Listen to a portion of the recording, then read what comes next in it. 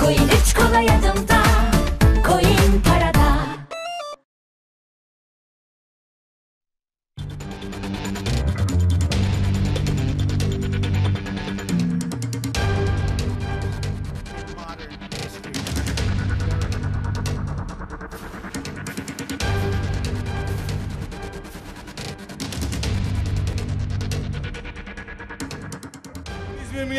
milletvekillerimizi Güne bakışa biz de böylece başlamış olduk. Şimdi günün gelişmeleri neler onları birlikte izleyelim sonrasında devam edeceğiz.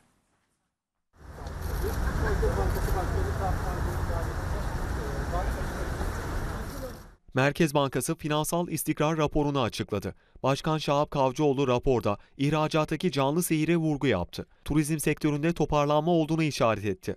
Reel sektör ve hane halkının borçluluk oranlarının salgın öncesi seviyesine gerilediğinin altını çizdi.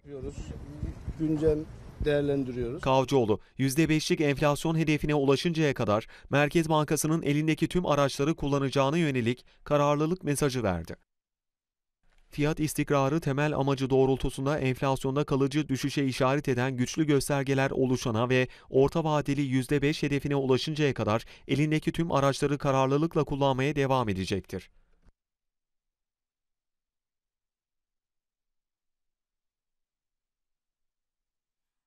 Evet devam başlıyoruz. Ee, güne bakışa birazdan bize Profesör Doktor Selami Kur'an da katılacak. Stüdyoda Buşar Öze'yi ağırlıyorum. Hoş geldiniz. Ben teşekkür ediyorum vakit ayırdığınız için. Bugünün e, hukuki konusu gündemi. Osman Kavala tabii ki onu konuşarak başlayalım biz. Osman Kavala'nın tek tutuklusu olduğu e, dava Gezi davasının ikinci duruşması e, bugün idi. 52 sanıklı bir e, dava idi.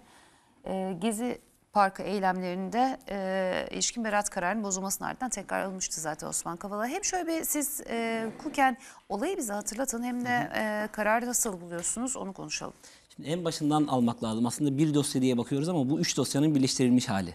Yani neydi? Daha evvelinde ilk geri davası olaylarında bir beraat kararı alınmıştı. O bozuldu. Geri geldi. Ardından Osman Kavala da dosyanın içerisine dahil edildi. Bunun da yanı sıra bir e, çarşı davası bile olarak bildiğimiz 35 sanıklı bir dava vardı. Orada yargılananların tamamı beraat kararı aldı. Yargıtay'dan bu dosya döndü. Sonrasında e, ayrı bir gezi davası dediğimiz bir davada aralarında Osman Kavala dahil 9 sanığın bulunduğu davada beraat kararı çıktı. Bunu da istinaf bozdu. Bu iki mahkemenin dosyasını biz bugün birleştirilmiş haliyle görüyoruz. Bir de bunun yanında Osman Kavala ile ilgili beraat kararının yanı derhal tahliye edilmesine ilişkin bir karar vardı hatırlarsanız. Ve aynı gün başka bir e, soruşturma sebebiyle 15 Temmuz darbe girişimine katkıları olduğu gerekçesiyle anayasal düzeni bozmaya ilişkin bir suç iddiasıyla Osman Kavala tekrar gözaltına alınmıştı. Ve e, o dosya soruşturması ve kovuşturması devam edildi. O dosyada bugün 13 Ağır Ceza Mahkemesi'ne yani toplamda 3 dava tek bir kovuşturma olarak tek bir dava olarak karşımıza çıkıyor. Ve bugün e, bu süreç yine Osman Kavala'nın tek başına tutuklu olduğu bakın birden fazla suç ortaya çıkmış oldu. Birisi Gezi davası, biri çarşı davası diye bildiğimiz Gezi olaylarına katkıları, bir diğeri de 15 Temmuz. Ve bütün bu Bunların suçları hangilerinden beraat etti tekrar aynı nedenle alındı? Osman Osman Kavala e, ilk etapta Gezi davasından beraat etti. Fakat çarşı davasında kendisi yargılanmadığı halde şimdi çarşı davasındaki sanıklarla birlikte yargılanıyor. Muhtemelen hayatında görmediği insanlarla bir arada olmadığı insanlarla bir, bir yargılanmakta şu anda. Ha, işin detayına, hukuki e, mahiyetine girmekten ziyade, yani dosyanın içeriğine girmekten ziyade aslında genel evrensel hukuk kuralları çerçevesinde bunu değerlendirmekte yarar var. O da ne? Şimdi 2019'da Osman Kavala'nın avukatları Anayasa Mahkemesi'ne bir başvuruda bulunuyor. Mayıs ayındaydı yanlış hatırlamıyorsam. Bize e, tutukluluk süremiz ana, e, bir hak ihlalidir deyip serbest bırakın bizi diyor. Yani çok daha basit tabirlerle anlatmak istiyorum ki e, sokaktaki insanımız da bizi anlasın. Bir- Tabii canım, yani en, en temel sonuçta. vatandaşın anlaması aslında baktığınız zaman.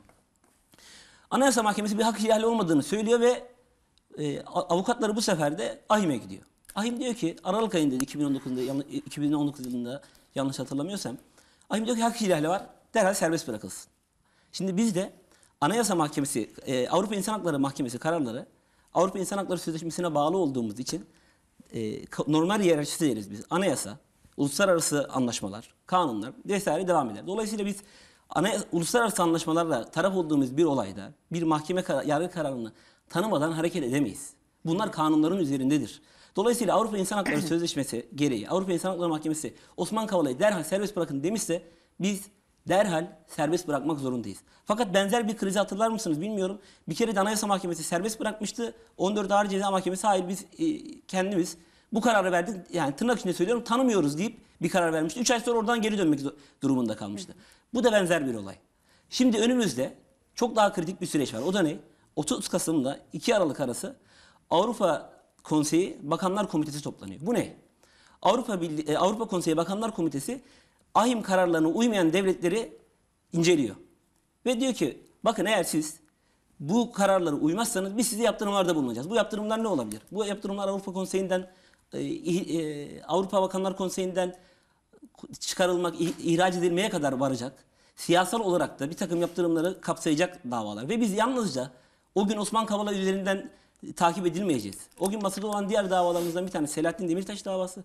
Bir diğeri de İzze- İzzettin Doğan Türkiye'ye karşı davası. Yani hem Alevilerin hem Selahattin Demirtaş'ın hem Osman Kavala'da üç temel e, önemli davalarda bizim hukuk sistemimizin bağımsız ve e, tırnak içinde söylüyorum doğru çalışmadığını söylüyor bize Avrupa İnsan Hakları Mahkemesi.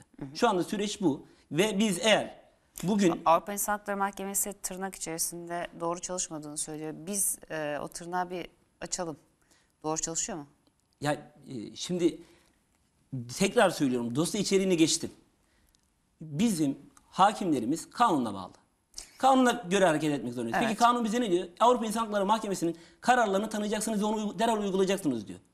Uygulamayınca Uygulama- ne oluyor? Bitti. Yani hiç daha bir şey tartışmaya gerek yok. Dosya içeriğini de geçtim. Belki gerçekten Osman Kavala 15 Temmuz'da destek vermiştir. Be- Verdi vermedi ben onu bilemem. O yargılanacak ve devam edecek. Fakat siz şu anda Osman Kavala'yı birleştirdiğiniz dosyalarda iki farklı suçmuş gibi yaptılar çünkü orada iki farklı soruşturma gibi gördüler.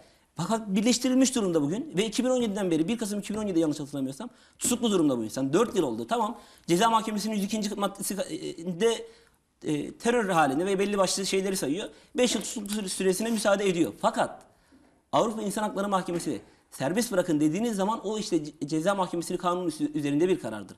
Derhal salı verilmesi gerekir. Siz şu anda ben Avrupa İnsan Hakları Mahkemesi Sözleşmesi'ni tanımıyorum dediğinizde ne olur? Hukuk güvenliği ortadan kalkar. Hukuk güvenliği ortadan kalktığı zaman ne olur? Şimdi o zaman işte ekonomik sıkıntılar başlamış oluyor. Yani hiç oraya dalmak istemiyorum ama Yok mecburen ya dalacağız. Benim benim benim ya e, yurt dışından gelen bir yatırımcıyım. Değil mi? Bir iş adamı 4 yıldır yargılanıyor ve serbest bırakılması gerektiğine ilişkin bir karar olduğu halde serbest bırakılmıyor. E işte ben bir e, sermayedar olarak gelip bu ülkede yatırım yapmak ister miyim? Hayır. Ya da var olan paramı çekmek isterim. Aslında tüm mesele bu hukuk güvenliği. Biz hukuk güvenliğini sağladığımız zaman, uluslararası ilkelere uygun hale getirdiğimiz zaman işte o zaman başarılı olabiliriz. O zaman e, e, ekonomik anlamda da kendimizi toparlayabiliriz. Ve inanın artık Avrupa İnsan Hakları Mahkemesi eskiden şu şekildeydi. Yani dünya genelinde bu şekilde çalışır. Eskiden biz de bu nitelikli bir devlettik. Nedir o? Derdik iç hukuk yollarınızı tüketin, bana ne gelin. Şimdi diyor ki hayır sizdeki diyor iç hukuk yolları diyor yeteri kadar hızlı ilerlemiyor. Bana direkt gelebilirsiniz e, e, bazı davalarda. Yani bu kadar vahim hale geldik biz. Peki Selam Hocam da katıldı bize. Selam Hocam hoş geldiniz. Teşekkür ederim İlhan Hanım. Merhaba Bişar Bey. Merhaba hocam. Şimdi e, savcı e, Osman Kavala'nın tutukluluğunun e, devamını e, talep etmiş. E, hakim de kararını verdikten sonra aslında karar üzerine konuşmak daha herhalde doğru olacaktır ama e, Osman Kavala özelinde olmasa da hukuk genelinde e, konuşabiliriz. Karar açıklanmadığı için öyle söyledim. E, şimdi Avrupa İnsan Hakları Mahkemesi kararı az önce Büşar Bey e, açıkladı. E, sizin de bu konudaki görüşünüzü e, almak isterim. Avrupa İnsan Hakları Mahkemesi e, bir karar veriyor. E, biz de anayasa 90. maddeydi yanılmıyorsam e, anayasanın kendi anayasamızın kendi verdiğimiz sözde demişiz ki Avrupa İnsan Hakları bir uluslararası sözleşme bir şey söylerse ben kendi yasamın bunu üzerinde tutarım.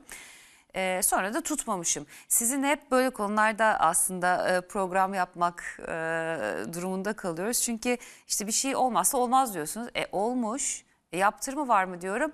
E, yok. O zaman olmasının da bir anlamı yok. O zaman o sözleşmenin de anlamı yok gibi bir sonuca varıyorum ben. Çok basit bir e, düz bakış açısıyla ama hukuk anladığım kadarıyla o kadar da düz bakmıyor mevzulara. Şimdi Avrupa İnsan Hakları Mahkemesi kararını bizim uygulamamız gerekiyor. Bu kısmı anladım.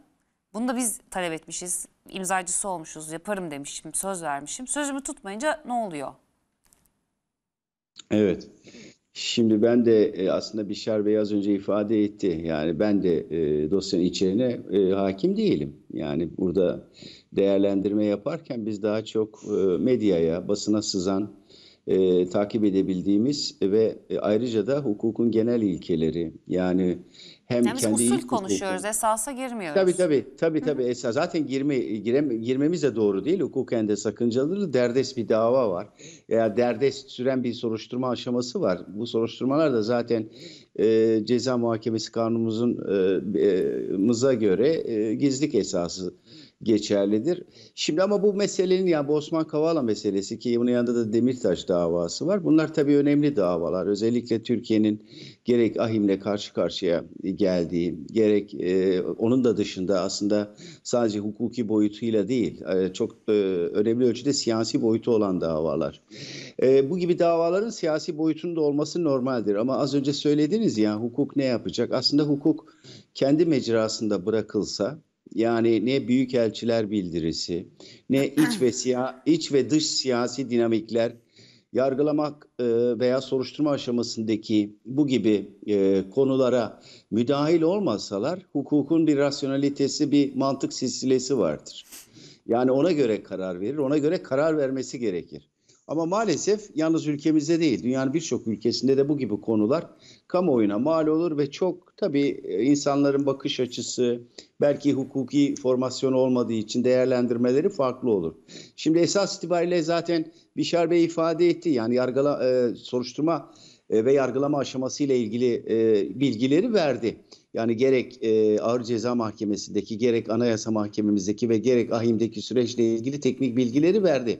Ama sonuç itibariyle şuna geliyoruz. Şimdi e, Osman Kavala e, olayında e, bir gezi davası, bir de e, çarşı davası söz konusuydu. Zaten az önce de ifade ettik. Yani gezi e, davasından beraat etmişti. E, çarşı davası da devam ediyor. Zaten bu iki davada birleştirildi. Bir de bunun dışında bir tahliye kararı olmasına rağmen ki yine Anayasa Mahkemesi'nin de bir hak ihlali kararı vermesine rağmen maalesef, yerel mahkeme o Anayasa Mahkemesi'nin verdiği karara uymadı ki bu hukuken sıkıntılı bir durumdur. Çünkü hukuk sistemimize göre de Anayasa Mahkemesi'nin kararları bağlayıcıdır tüm organları yani yargı, yürütme ve idari organları bağlar. Dolayısıyla teknik olarak yanlış bulabilirsiniz. Yani bir hukukçu olarak eleştirebilirsiniz veya bir vatandaş olarak ama netice itibariyle normal hiyerarşisi ve organlar hiyerarşisi dediğimiz bir silsile vardır hukukta. Yani üst mahkemenin temel hak ve özgürlükleri ile ilgili konulara bakmakla yetkili olan bizim yüksek mahkememiz var. Bu mahkemenin verdiği kararlar herkes için bağlayıcıdır. Yani beğenseniz de beğenmeseniz de uymak zorundasınız. Heh, tam burayı Peki- soruyorum hocam ben. Peki- Beğenseniz peki- de beğenmeseniz de O da- uygulamak zorundasınız. Uygulamayınca ne oluyor? Şimdi şimdi ben şu- şu şeye geliyorum. Ee, Zaten oradaki sıkıntılar e, görüldü ve orada da müdahale e, yani Anayasa Mahkemesi'nin e, e, kararlarının e, bu şekilde yorumlanamayacağı ve yerel e, makamları yani mahkemeleri ilk derece mahkemelerini bağlayacağı yönünde de bir şey oluştu. Onda bir sıkıntı yok. Şimdi diğer bir sıkıntı bu AİM'le ilgili boyutu. Şimdi doğru biz Avrupa Konseyi kurucu üyesiyiz ve Avrupa Konseyi'nin en önemli uluslararası temel metni Avrupa İnsan Hakları Sözleşmesi'dir. Ve bu konuda yani sözleşmede teminat altına alınan temel hak ve özgürlükleri koruma noktasında da birinci derecede e, yetkili makam Avrupa İnsan Hakları Mahkemesi'dir. Biz de aslında AK Parti döneminde yani e, 2000 e, 2002'den sonra e, AK Parti hükümetleri döneminde e, anayasamızın 90. maddesine bir ek e, e, madde koyduk ve şunu söyledik. E, uluslararası e, antlaşmalar yani usulüne uygun uluslararası us- usulüne uygun yürürlüğe konmuş uluslararası antlaşmalar Türk iç hukukunda kanun hükmündedir. Bakın kanun hükmündedir. Ama bunun yanı sıra yine bir paragrafla eğer uluslararası anlaşmalar, sözleşmeler e, temel hak ve özgürlüklere ilişkin ise ve iç hukuk hükümleriyle, normlarıyla e, çatışıyorsa uluslararası sözleşme hükümleri geçerlidir. Bunun anlamı şudur. Yani uluslararası antlaşmalara imza koyduğunuz zaman uluslararası antlaşmalarla sizin iç hukukunuzda bu ceza kanununuz olabilir, CMK olabilir veya herhangi başka bir kanun olabilir. Bir uyuşmazlığı, bir çatışması halinde Türkiye'deki yargı mercileri, mahkemeler özellikle tabii ki e, uluslararası antlaşma hükümlerine esas alması lazım. Peki sorun nerede çıktı ortaya? Sorun şu. Ben halen orada eleştirelim çünkü Avrupa İnsan Hakları Mahkemesi'nin kararlarının hukuki niteliği açısından sorun var. Yani Avrupa İnsan Hakları Mahkemesi bir temiz merci değildir. Bir tespit mercidir. Yani hak ihlalinin ki Kavala davasında e, bizim de anayasamızın 19. maddesinde teminat altına alınmış güvenlik ve kişi hürriyetine ilişkin hakkın ihlal edildiğine karar verdi. Şimdi bu hakkı ihlalinden sonra ilgili ülke yani ilgili ülkeye bu bildirilir ve bu e, şeyin e, bu hak ihlalinin giderilmesi istenir. Bunun da anlamı şudur. Bizim teknik olarak ifade ettiğimiz yargılamanın yenilenmesi sonucunu doğurur. Yani ilgili mahkeme, yetkili mahkeme, ulusal mahkeme bu hak ihlalini e, ne ilişkin yapmış olduğu işlemi tekrar e, başa alır, te- tekrar gözden geçirir ve yine ulusal mahkeme karar verir.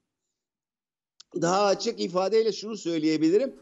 Avrupa İnsan Hakları Mahkemesi'nin hiçbir üye ülkede, bakın Türkiye'de dahil, bu Almanya'da da böyledir, ee, Yunanistan'da da böyledir. Mesela Batı Trakya Türkleri ile ilgili dört tane verilmiş kararı vardır.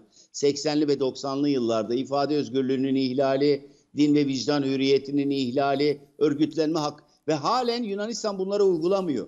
Uygulama kabiliyeti de şurada noktaya önemli açıdan. Ben ikisini kıyaslama noktasında onlar öyle yapıyor, Türkiye'de öyle yapsın anlamında söylemiyorum bu ma. Yani bahane olarak söylemiyorum. Teknik olarak Avrupa İnsan Hakları Mahkemesi'nin verdiği kararların doğrudan e, ne Bakanlar Konseyi, e, Bakanlar Komitesi ne de e, AHİM'in kendisinin zaten öyle bir şeyi yok, öyle bir aparatı yok, öyle bir yetkisi yok. Ulusal e, yargı organlarında e, icra etme yetkisi yok. Yani doğrudan uygulanmaz. Yani bizde Türkiye'de karıştırılan şu. Yani daha açık Mine Hanım biraz e, teknik ayrıntıya da girmeden net olarak ifade edeyim. AHİM'in kararları üye ülkelerin e, üye ülkelerde doğrudan icra kabiliyetine sahip değildir. Ne, nedir önemli olan orada? Üye ülkenin makamlarının gerek idari ve yargı makamlarının kendilerinin bunun gereğini yerine getirmeleri lazım. Şimdi bizde ne oldu hatırlayalım. Yani Avrupa İnsan Hakları Mahkemeleri kara, kara tahliyeye ilişkin e, karar verildi. Medyada öyle şeyler de okundu. Hemen bırakılması lazım. Avrupa İnsan Hakları Mahkemesi'nin böyle bir fonksiyonel, hukuki olarak bir fonksiyonel etkisi yok. Ee, e, Büyükelçilerin bildirisini hatırlayın. Yani büyükelçilerin kaldı ki ben uluslararası boyutunu bir kenara bakıyor, bırakıyorum. Yani Viyana diplomatik e, ilişkiler hakkındaki Viyana Sözleşmesi'ni de bir kenara bırakıyorum. Orada açıktır.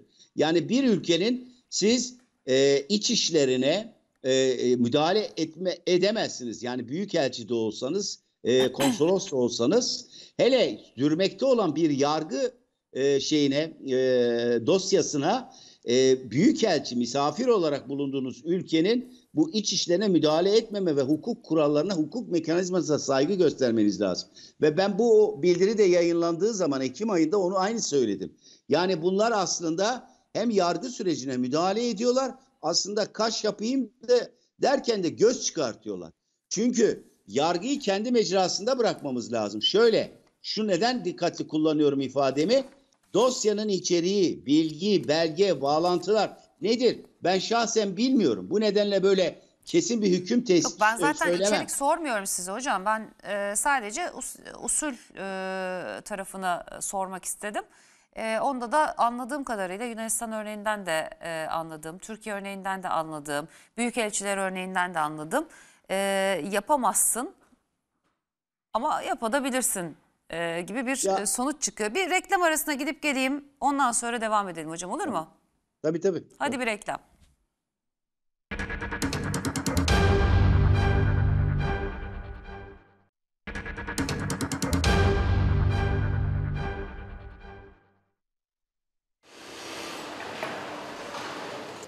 Çarklar dönüyor, ihracat güçleniyor, Türkiye ekonomisi büyümeye devam ediyor.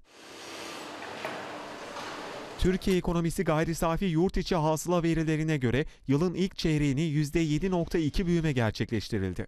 Bu yılın ikinci çeyreğinde ise büyüme rakamları %21.7 oldu. Gözler 3. çeyrek rakamlarına çevrildi. Piyasaların merakla beklediği rakamlar 30 Kasım Salı günü Türkiye İstatistik Kurumu tarafından açıklanacak. Bekleyiş devam ederken uzmanlar büyüme rakamlarını değerlendirdi. Anadolu Ajansı Finans Büyüme Beklenti Anketine katılan ekonomistler yılın 3. çeyreğinde Türkiye ekonomisinin %8.1 büyümesini bekliyor. Ankete katılan ekonomistlerin 3. çeyrek büyüme beklentileri %5.3 ila %13,5 aralığında yer aldı. Ekonomistlerin 2021 yılı büyüme beklentilerinin ortalaması ise %10 olarak gerçekleşti. Evet devam ediyoruz. Ee, güne bakışa bir başka hukuki e, görüş almak istediğim e, konu da kadına karşı şiddet e, meselesi. Çoğunlukla aynı görüşte olmam ama Nagihan Alçı'yla bu sefer aynı görüşteyim. Kadına karşı şiddet kaynaklı suç kaydı bulunanlar toplu taşımaya, AVM'ye, kalabalıklara giremesinler. Tıpkı HES kodu gibi suç kodu da e, bulunsun demiş. Nasıl değerlendirirsiniz? Ya şimdi olay çok hassas. Ben bugünkü TV100'deki köşe yazımında da bu olaya ilişkin yazdım. Orada da şunu söyledim. Bir gün önce ilahi adalet diye bir şey var. Bazen ilahi adalet öbür tarafta inançlıysanız çıkar. Bazen bir saat içinde karşınıza çıkar. Bu artık kelimelerimi özenle seçmek istiyorum ama e, biraz da sinirlenmiyor değilim. Bu zat almış elini bıçağı iki tane kadına saldırıyor. Orada o anda dünyanın en delikanlısı oluyor. Oranın kralı. Herkesi de korkutmuş, sindirmiş. Fakat bir gün sonra, hatta bir gün sonra bile değil, 24 saatten kısa bir bir süre içerisinde başka bir kadının karşısına geçiyor. Bir bayan, bir kadın savcının karşısına geçiyor. Muhtemelen onun karşısında da şöyle eller şey yani ve mahcup durumda. Biraz mizansel olarak da anlatıyorum ama gerçek bu. Ben avukatlık yapıyorum aktif olarak ve bunların bunda, böyle delikanlılar ya bunlar. Hakim savcı karşısında nasıl olduklarını ben çok iyi bilirim. Ve işte bu ilahi adalet dediğim şey bu. Bakın genelde hocam da muhakkak bilir. Kadın e, hukukçularımız çok az savcılık mesleğini tercih ediyorlar. Yani ortalamaya baktığınız zaman genelde hakimlik seçerler. İşte bir kadına denk gelmesi de yani tam böyle tevafuk diyeyim e, şey tabiriyle yani. Ve ne oldu? E, kadın savcımızın Kadına tutuklama- karşı şiddet suçlarına hep kadın hakimin verilmesi gibi bir uygulama da gelebilir mesela. Nagihan Hanım'ın yazısında o da var. Yani geçmişte de benzer bir şey oldu. Bir e, spesifik bir davada yine yanlış hatırlamıyorsam erkek bir hakim baktı beraat kararı vermişti diye hatırlıyorum. Orada da Nagihan Hanım iki ya da üç yıl önceydi benzer bir yazı yazmıştı. O doğrultuda yine yazmış bu yazısında. Şimdi e, tamam çok güzel bir şey. Yani hepimiz bu kadına karşı şiddet suçlarını önlemek istiyoruz. Fakat Peki bunu nasıl yapabiliriz? İşte birisi oradan çıkıp tepki veremedi. Sosyal medyada okudum. Tepkiler genelde böyle. Ya işte Kadir Çeker davasını hatırlatıyorlar. Şimdi bunlar hep bireysel dosyalar olduğu için hocam da bilir. Biz işin esasına girdiğimiz zaman en ufak bir e, yanlışta bizi bağlar bu hukukçu olduğumuz için. Ki e, bir benzer bir olay daha vardı. E, Anne babaya sanki tecavüz ediyormuş gibi çıktı. Ovacık davası mı? Elmalı, Evet, da- Elmalı evet. davasıydı. Sonra bir baktık ki bambaşka bir şeymiş. Yok ben zaten Şimdi esasla ilgili gen- bir şey genel, genel yine genel nitelikte konuşacağım. Bana kalırsa biz o, e, elinde bir tane bıç- bıçak almış iki tane kadına saldıran biri var. Bu anormal bir durum ve e, metronun içindeki herkes bakıyor. Birisi de almış elinde kamerayla izliyor. Ben şimdi size bir jenerik senaryo yazacağım. Orada çok özür diliyorum izleyicilerimizden de. Bir kadın veya erkek ya da müstehcen bir harekette bulunmuş olsaydı. Oho. Oradaki herkes Ağzını iddia ediyorum kırarlardı. tepki gösterecekti. Tabii. İşte bu sizin toplum olarak doğrularınız nedir, doğru nedir ona bakmanız lazım. Yani Avrupa'da benzer bir şey gör, görürse bir Avrupalı toplum döner arkasına devam eder. Kadın için için demiyorum. Müstehcen bir şey olursa kendini bilecek değiştirir ya da polis müdahale eder. Fakat burada biz müstehcen bir şey gördüğümüz zaman ya çok basit ya iki insanın biraz fazla yakın oturmasından bile rahatsızlık duyabilen bir toplumuz ama bir adamın İnsanın kalkıp birbiriyle yakın oturması, sarılması e, müstehcen de değil. Değil, bence. değil de. Hani abartarak söylüyorum ki Frans Kafka'nın bir sözü var abartıyorum çünkü anlaşılmak istiyorum diye. Şimdi burada bir adam almış. Ya deli bu ya. Psikopat gibi davranmaya çalışıyor ve iki kadına bıçak sallıyor. Ve iddia ediyorum bakın orada iki tane üç tane insan o hareketi başlatsa biz toplumsal olarak tepki göstermek zorundayız. Ben bunu anlatmaya çalışıyorum. Bir yazımda da yazmıştım. Şizofreni asla bana kalırsa hocam belki kızacak bunu söylediğimi ama biraz abartarak söylüyorum. Şizofreni asla bir ceza verilmeme sebebi değildir. Amerika'da da benzer şeyler var. Şizo- Şizofreniyi böyle psikopatlığı ceza ehliyeti yoktur diye kabul etmiyor. Geçen samuray kılıcını saplayan çocuk vardı ya. Annesi çıktı dedi ki o da hukukçu. Ya işte oğlum deli. şizofreni tedavisi görüyor. Ee, E böyle- Çok özür dileyerek kesmek mecburiyetinde kaldım. Bir İzmir'e dönüyoruz. Mustafa Denizli Stadı Alsancak'ta Cumhurbaşkanı diyelim. Ee, en yakın zamanda orada inşallah maçta izleriz ee, gidip.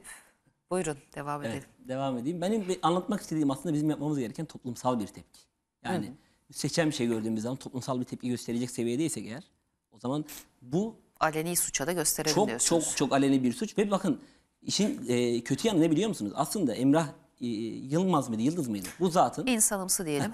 insanımsının normal şartlarda işlediği suçun e, tutukluluk haline uygun bir suç değil. Çok kısa bir süre tutuklu kalacak ve serbest bırakılacak tekrardan.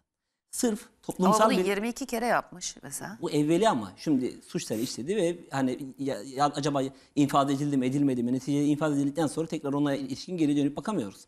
Ama şu anda e, tamamen toplumsal bir kitlesel hareket bir tepki olduğu için bu insan tutuklandı. Ha- Hatırlar mısınız Halil Sezai dosyası da benzerdi. Orada basit yaralama yani bir silahla basit yaralama deriz buna. E, Ortada bir yaralama da yoksa teşebbüs aşamasında kalmış. Suçluğa uygun bir suç bile olmadığı halde toplumsal tepki gösteri, gösterdiğimiz için içeri giriyor. O zaman toplumsal tepkiyi biz elektronik ortamda değil de toplumsal tepkiyi gördüğümüz anda yani linç gerekiyor. edelim demiyorum. Kimse buradan başka bir şey çıkar mısın? Fakat ya kardeşim sen ne yapıyorsun diyebilmemiz lazım. Selami Hocam, e, geçtiğimiz gün, dün e, bir e, hukukçu konuğum yine şöyle bir örnek verdi. Bizde de böyle bir uygulama mesela yapılabilir mi? Kaliforniya'da Arnold Schwarzenegger e, oraya başına geçtikten sonra verilen e, kararlardan, hükme bağlanan e, mevzulardan biriymiş.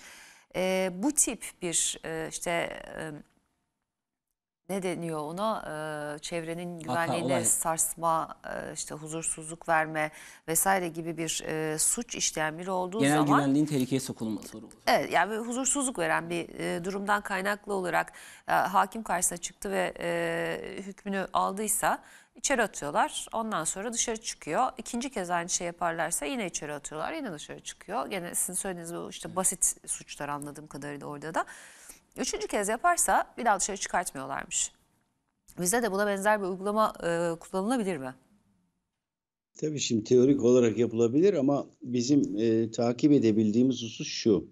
Özellikle bu e, kadınlara yönelik ve çocuklara yönelik şiddet, e, istismar gibi vakalarda genellikle maalesef e, biz böyle birkaç gün bu konuyu konuşuruz medyada siz e, e, e, televizyoncular olarak sonra unutulur.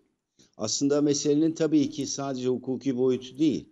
Yani bunun eğitim boyutu var, etik boyutu var, ahlaki boyutu var ve ayrıca da çok önemli güvenlik boyutu var. Şimdi bu zat dediniz, işte ben şüpheli diyeyim daha teknik bir ifade kullanayım. 22 tane ayrı suç dosyası var Ee, ve şartlı tahliye edilmiş. Şimdi bu gibi kişilerin yani belli yani ya psikolojik sorunları var her herhangi bir e, işte madde bağımlısı veya herhangi bir sebeple. Şimdi bu gibi suç dosyası kabarık insanların e, cebinde bazen silah bazen bıçakla böyle e, kamuya açık özellikle de metro gibi kitlesel ulaşım araçlarına elinde bıçakla girebilmesi nasıl izah etmek lazım? Kaldı ki iki tane de dedektörden geçtiği ifade ediliyor. Şimdi burada sıkıntı bir güvenlik zafiyetinin olduğunu gösteriyor. Ama e, güvenlik zafiyetinin olması bu meselenin halli anlamına gelmez. Şimdi ben öncelikle yine onu aslında sözlerimin başında söyleyecektim. E, hocam çok Ee, özür dilerim. Bir savcı- son dakika için keseceğim size. E, dönelim Hilal Yıldırım'a bir hemen bağlanalım. E, savcı tutukluk halinin devamını istemişti. Hakim de olur demiş. Hilal.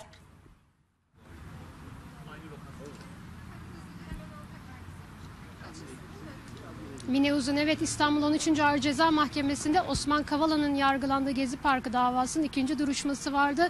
Mahkeme az önce tutukluluk haline ilişkin ara kararını açıkladı ve Osman Kavala'nın tutukluluk halinin devamına karar verdi. Kavala tahliye edilmedi bugün. 4 yıldır bağlı tutuklu bulunduğu Silivri cezaevinde mevcut delil durumu, suç vasfının değişme ihtimalinin olmaması, kaçma şüphesi bulunduğu gerekçesiyle tutukluluk halinin bir sonraki duruşmaya kadar yine devamına karar verdi mahkeme. Sabah saat 11'de başlamıştı duruşma ve bu saatlere kadar da avukatların beyanları alındı.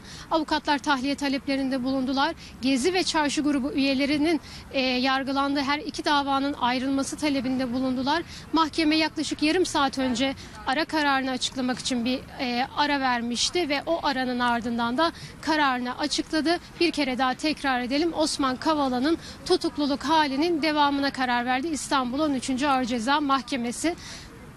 Sözü yeniden size bırakalım Mine Uzun. Kolay gelsin e, diyelim. E, çok da şaşırtıcı bir karar olmadı Ama herhalde. işte hukuk katliamı devam ediyor ya. Ne yazık ki. Hocam siz ne dersiniz karara? E Şimdi ben az önce de ifade ettim. Yani dosyanın içeriği nedir ne değildir. Yalnız suçlama e, anayasal düzene karşı suçlar TCK'nın 309. maddesi bu gibi suçlarla ilgili olarak e, öngörülen hapis cezası müebbet ağırlaştırılmış müebbet hapis cezasıdır.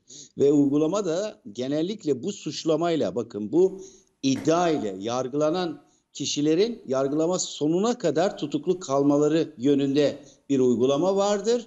Ee, ama bu az önce de ifade etmeye çalıştım. Netice itibariyle mahkemenin takdirindedir. Ama e, ağırlaştırılmış müebbet hapis noktasında bir suçlama, bir iddianame e, söz konusuysa e, tutukluluğu yargılanması yoksa tutukluluğun dışında da bir takım tedbirler vardır. Yani adli kontrol şartıyla serbest bırakılması ve bu yönde çünkü adli kontrol şartıyla yargılanması yani tutuksuz yargılanması yönünde verilen bir kararın beraat anlamına gelmeyeceğini e, bilmemiz lazım. Yani netice itibariyle sonuçta yargılama devam eder. Karar verildikten sonra eğer ceza alırsa ceza infazı aşamasına geçilir yoksa beraat eder. Ama Türkiye'deki temel şey zaten yalnız bu dosya e, ile ilgili olarak değil. Bu uzun tutukluluk sürelerini gerçekten artık e, hukuki e, e, e, rasyonalitesinden, manasından ve işlevinden zaman zaman çok uzaklaştığını görüyoruz. Yani bir ceza niteliğine bürünmeye başlıyor. Bu da gerçekten bizim hukuk uygulamamızda, yargı uygulamamızda e, bunun e, iyileştirilmesi lazım. Yani ben bu dosyayla ilgili söylemiyorum. Ağırlaştırılmış e, müebbet hapis cezalarını e, öngören e, şeylerde, dosyalarda genellikle eğilim, mahkemelerin eğilimi tutuklu yargılaması yönündedir. Hocam ama CM. Yani müdahale etmek zorunda hissettim kendimi. Kusura bakmayın ne olur. CMK'da 5 yıl süre tabi tutuyor. Yani 5 Evet. yıl maksimum 5 yıl tutuklu bırakabilirsiniz diyor bu tür Dört- suçlarda. 4 2017'den itibaren sanıyorum Kasım 2017 değil Ama mi? de- derhal, de- evet derhal uygulanması gerekiyor ya ve şu anda Evet. 4 yıl oldu. 1 Kasım 2017'den beri tutuklu. Evet, Şimdi dört yıl. bir yandan da hani, e, Avrupa İnsan Hakları Mahkemesi'nin bir kararı var. Diyor ki şu anda hak ihlali yapıyorsunuz. Mahkemede e, buradaki Avrupa İnsan Hakları Mahkemesi'nin kararını tanımıyor. Duymazdan geliyor. Kulak kabartmıyor oraya. Şimdi ben nereden bileceğim peki yarın öbür gün 5. yılı dolduğu zaman iç hukukta bahsediyorum. 5. yılı doldu bir yıl sonra. Bir yıl sonra Osman Kavala'nın serbest bırakılması lazım. CMK'ya göre. Artık hani şeyi de geçtik. Avrupa İnsan Hakları Mahkemesi kararını da geçtik. E belki o kanunu da görmeyecek aynı mahkeme. Yok çıkartıp tutuklayabilir. Yok aynı yargılama devam ettiği için maksimum tutukluk süresi 5 yıl olmak zorunda. Yani totalde aldınız. Gözaltı da dahil. Çıkarttım bıraktım da olmuyor. Ama tekrar söylüyorum yani Avrupa İnsan Hakları Mahkemesi'nin kararını tanımayan bir e, yargı sistemi kanunu niye tanısın ki o zaman? Yani onu da diyebilir. Ben ondan onu da bekliyorum. Yani bir yıl sonra biz bırakmıyoruz da diyebilir. Hadi bakalım ne. O zaman ne yapıp ne olması gerekiyor? İşte aslında daha sizde konuştuk ya. Anayasa Mahkemesi'ni de tanımıyordu. e, ilk derece mahkemesi kararı. Bana kalsa bu da devam etselerdi. Kim bunu yaptıysa hatta 3 ayda bir süreç vardır orada. Kararından vazgeçilmeyen. Yapacaksın kardeşim suç duyurusunu hakimlerle ilgili. Çok net. Çok net uygulamıyorsun. Yani sen hakim olarak bir yargı kararını uygulamıyorsan polis niye uygulasın? Kamu, kamu kurumları niye uygulasın? Vatandaş niye uygulasın? Sen en başta kamu düzenini bozuyorsun o andan itibaren. Yani bakın söylediklerim belki bir hakimin yargılanmasına ilişkin bir şey söylüyorum ama e, kanun var burada, ka- karar var. Anayasa Mahkemesi senin üst merciğin esas mahkeme gibi ye- yerine geçti ben tanımıyorum diyorsun. Yapamazsın. Yapamazsın. Anayasa Mahkemesi bir karar vermişse ona uyacaksın. Bitti. Yapmadın mı o zaman hakkında suç duyurusu yaparlar. Yapma, olması gereken bu. ideali budur. Ama uyguluyor muyuz? Maalesef işte. Bekliyoruz uygulanmasını. Ne dersiniz hocam? Şimdi ben e, genel bir ilkeden ifa, e, yola çıkayım en azından bu bahisle ilgili olarak. Mahkemelerin, yargıçların bağlı oldukları, bağlı olmaları gereken tek yer anayasa ve kanunlardır. Ondan sonra da vicdani kanaatleri diye biz ekleriz. Dolayısıyla bunun dışında bunu e, bu konuyla ilgili soru işareti doğuran kararlar toplum vicdanında da hukuk camiasında da tartışılır hale gelir. Ama hukukçuların bu gibi özellikle çok gündemde olan davalarla ve siyasi hem ulusal hem uluslararası siyasi boyutu olan ve maalesef maalesef altını çiziyorum. Açık işin çığırından gittiği yani e, ağır e, şey büyük elçilerin dahi müdahil olduğu ki büyük eller buradan bir tutuksuz yargılanma kararı çıksaydı bakın öyle çıkmış olsaydı ya büyük elçiler bu tavrı ortaya koydu. Dolayısıyla Türk mahkemeleri de bu yönde karar verdi veya hükümet bu yönde bunları yönlendirdi.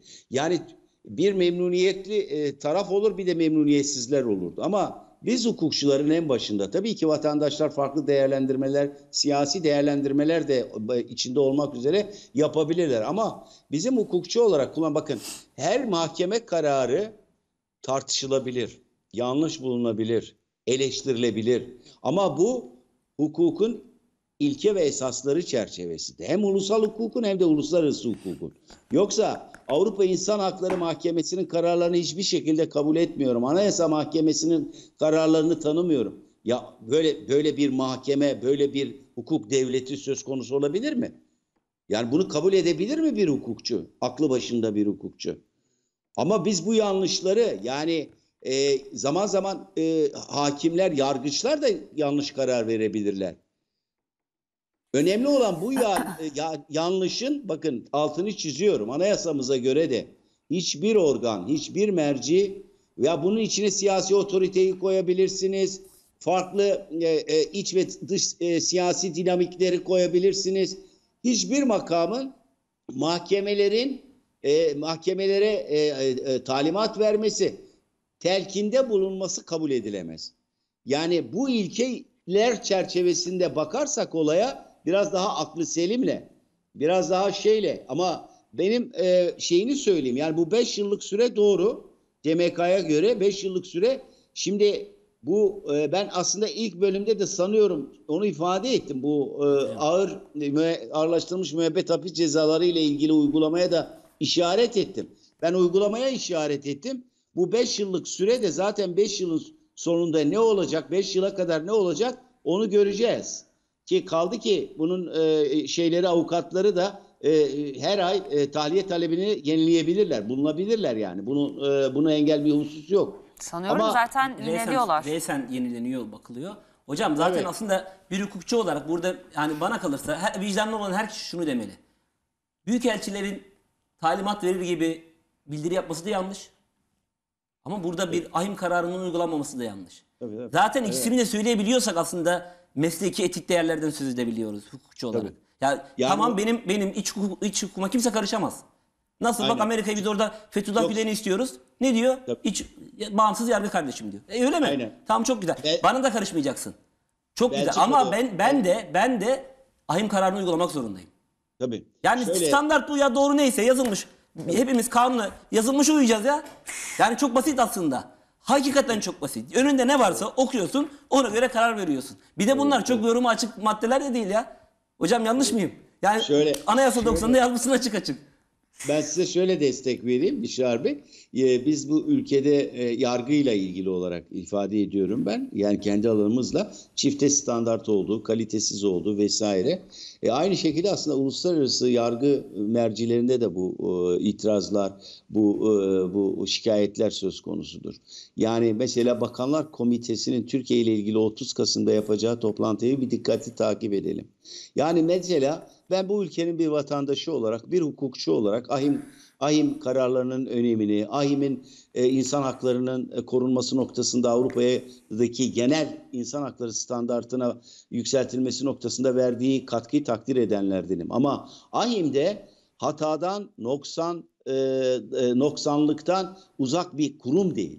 Yani önemli olan şu. Siz neden Yunanistan'la ilgili e, Batı Trakya Türkleri ile ilgili verilmiş 15-20 yıllık 4 tane kararın gereği için Bakanlar Komitesi'ni toplayıp da Yunanistan hakkında neden böyle bir işlem yapmıyorsunuz? Benim itiraz ettiğim bu çifte standarttır.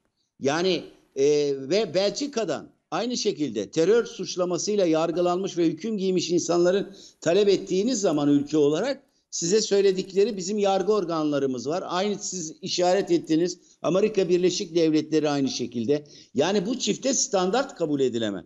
Bizim ülke insanları olarak hem kendi ülkemizdeki hukuk kalitesinin, yargı kalitesinin yükseltilmesi noktasında eleştiride bulunalım, itirazlarımızı yapalım ama tek gözle bakmayalım. Bu uluslararası mercileri böyle Türkiye'ye karşı her konuda akıl veren, tanzim eden, yönlendiren bir mekanizma olarak görmek e, e, yanlış olur, eksik olur.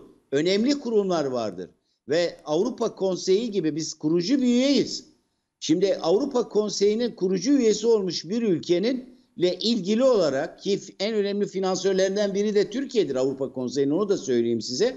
Yıllık e, şey öderler, a- aidat öderler üye ülkeler. Yani AYİM'i de finanse eden bir ülke konumundadır aynı zamanda bunun anlamı. E şimdi böyle bir ülkeyi siz hemen bir iki davayı ve özellikle de bir iki Türkiye'de insan hakları ihlalleri sadece iki dosya üzerinden mi görülür? Hocam 30 Ya Kasım'da bir- 3 yok. dava görülecek, bakılacak Evet. ama. Selahattin Demirtaş, Hayır, hayır. İzzettin Doğan ve Osman Kavala dosyası. genel genel olarak ben diyorum hak ihlalleriyle ilgili olarak yani sıradan vatandaşların da adil yargılanma hakkıyla mülkiyet hakkının ihlaliyle ilgili efendim ifade özgürlüğünün ihlaliyle ilgili birçok başvuruları oldu. Zaten bizde AHİM'in e, vurulan bu başvuruları asgariye düşürmek için Türkiye'deki iç mekanizma yani bireysel başvuru mekanizması getirildi. Bireysel başvuru Anayasa Mahkemesi'ne yapılan e, başvuruların temel özelliği şudur. AHİM'e gidecek bu konuyla ilgili yani temel hak ve özgürlüklerin ihlaline ilişkin itirazların, şikayetlerin iç hukuk yollarında tüketilmesidir. Buna de, bu, bu, bu fonksiyonu yerine getiriyor Anayasa Mahkemesi. Şimdi biz Anayasa Mahkemesi'nin kararlarını dahi tartışmalı hale getirirsek, işte sizin istediğiniz veya kabul ettiğiniz bir şeye göre karar verirse çok iyi bir karar, e, e, vermezse e, işte kötü karar. Bu şekilde olmaz. Hukuk bu şekilde işlemez. Hocam orada ama Yani- mesela Sayın Bahçeli Anayasa Mahkemesi kapatılsın teklifiyle de gelmişti. Dolayısıyla ana, yani iç hukuku tüketirken e, ki Anayasa Mahkemesi ve vereceği kararlara da e, güvensizlik yok mu? Ya da Mine verse Hanım, dahi uygulanıp orada- uygulanmayacağı muallakken neden başvurulsun ki? Mine Hanım orada e, sanıyorum bir şey var. Yani Sayın Bahçeli'nin ifade ettiği husus bu görev e, ayrımı ile ilgili. Yani e, hak ihlalleriyle ilgili ayrı bir departman ve yüce divan sıfatıyla yani yargı e, ceza yargılaması yapacak ayrı bir bölüm, ayrı bir e, bölüm olarak Anayasa Mahkemesi'nin fonksiyonel hale getirilmesidir. Yoksa siz Anayasa Mahkemesi'ni gerek temel hak ve özgürlüklerin korunması noktasındaki fonksiyonu e, gerek e, kanunların e, ki ana e, görevlerinden bir tanesi, bir tanesi de kanunların anayasaya e, uygunluğunu denetlemektir. Bu gibi şeyleri bir hukuk devletinde tamamen bunu ortadan kaldıralım diye bir mahkemeye yaklaşımınız e, söz konusu olamaz. Yani bu anlamda değildi. O daha çok görev tanımıyla yani do, şöyle oradaki sıkıntı da şu. Siz çok şeye girmeden anlatayım hemen. Anayasa Mahkemesi'ndeki bulunan e, yüksek yargıçların tamamı hukukçu değil. Çok az bir bölümü hukukçu. İktisatçı var, sosyolog var, uluslararası ilişkiler uzmanı var ve bu kişiler zaman zaman önlerine gelen yüce divan davalarında hukuki bir ceza yargılaması yapmak durumunda. Yani şimdi ben nasıl iktisadi sizinle iktisadı konuşurken hep altını çizerim. Ben iktisatçı değilim, iktisatçı değilim. Yani ben genel yüzeysel bir bilgiyle ancak e, e, gözlemlediğim şeyleri ifade edebilirim bir konuyla. Ama e, hukuk ayrı bir alandır. Hukuk e, nosyonu olacak. Hukuk eğitiminden geçmiş olacak. Hem uygulamadan da gelmiş olacak. Bir veya akademik bir geçmişi olacak. Bu birikimlerle birlikte siz ancak Anayasa Mahkemesi'nde yüce divan sıfatıyla bir yargılama yapabilirsiniz. Yani bu çok önemli. Bunu bunu bu, e, bunu görmek lazım. Yani oradaki şey de daha çok bu dediğim gibi temel hak ve özgürlüklerle ilişkili ayrı bir departman e, yani yine e, yüksek mahkeme sıfatıyla e, e, e, hareket edecek Yine bu yüce divan ceza yargılaması dediğimiz ayrı bir departmanda da çünkü ceza yargılaması çok önemli. İnsanların suçlu veya suçsuzluğuyla ilişkili karar veriyorsunuz. Yani bunu normal işte bir iktisatçının veya bir sosyologun, e, psikologun e, yaklaşımıyla bir hukukçunun gözü gözleri farklı bakar olaya. E, bunu bu çerçevede söylemek lazım. Bu şeyle ilgili bir iki Ee, cümle hocam bir iki cümleyi reklamdan sonra diyor Altuğ.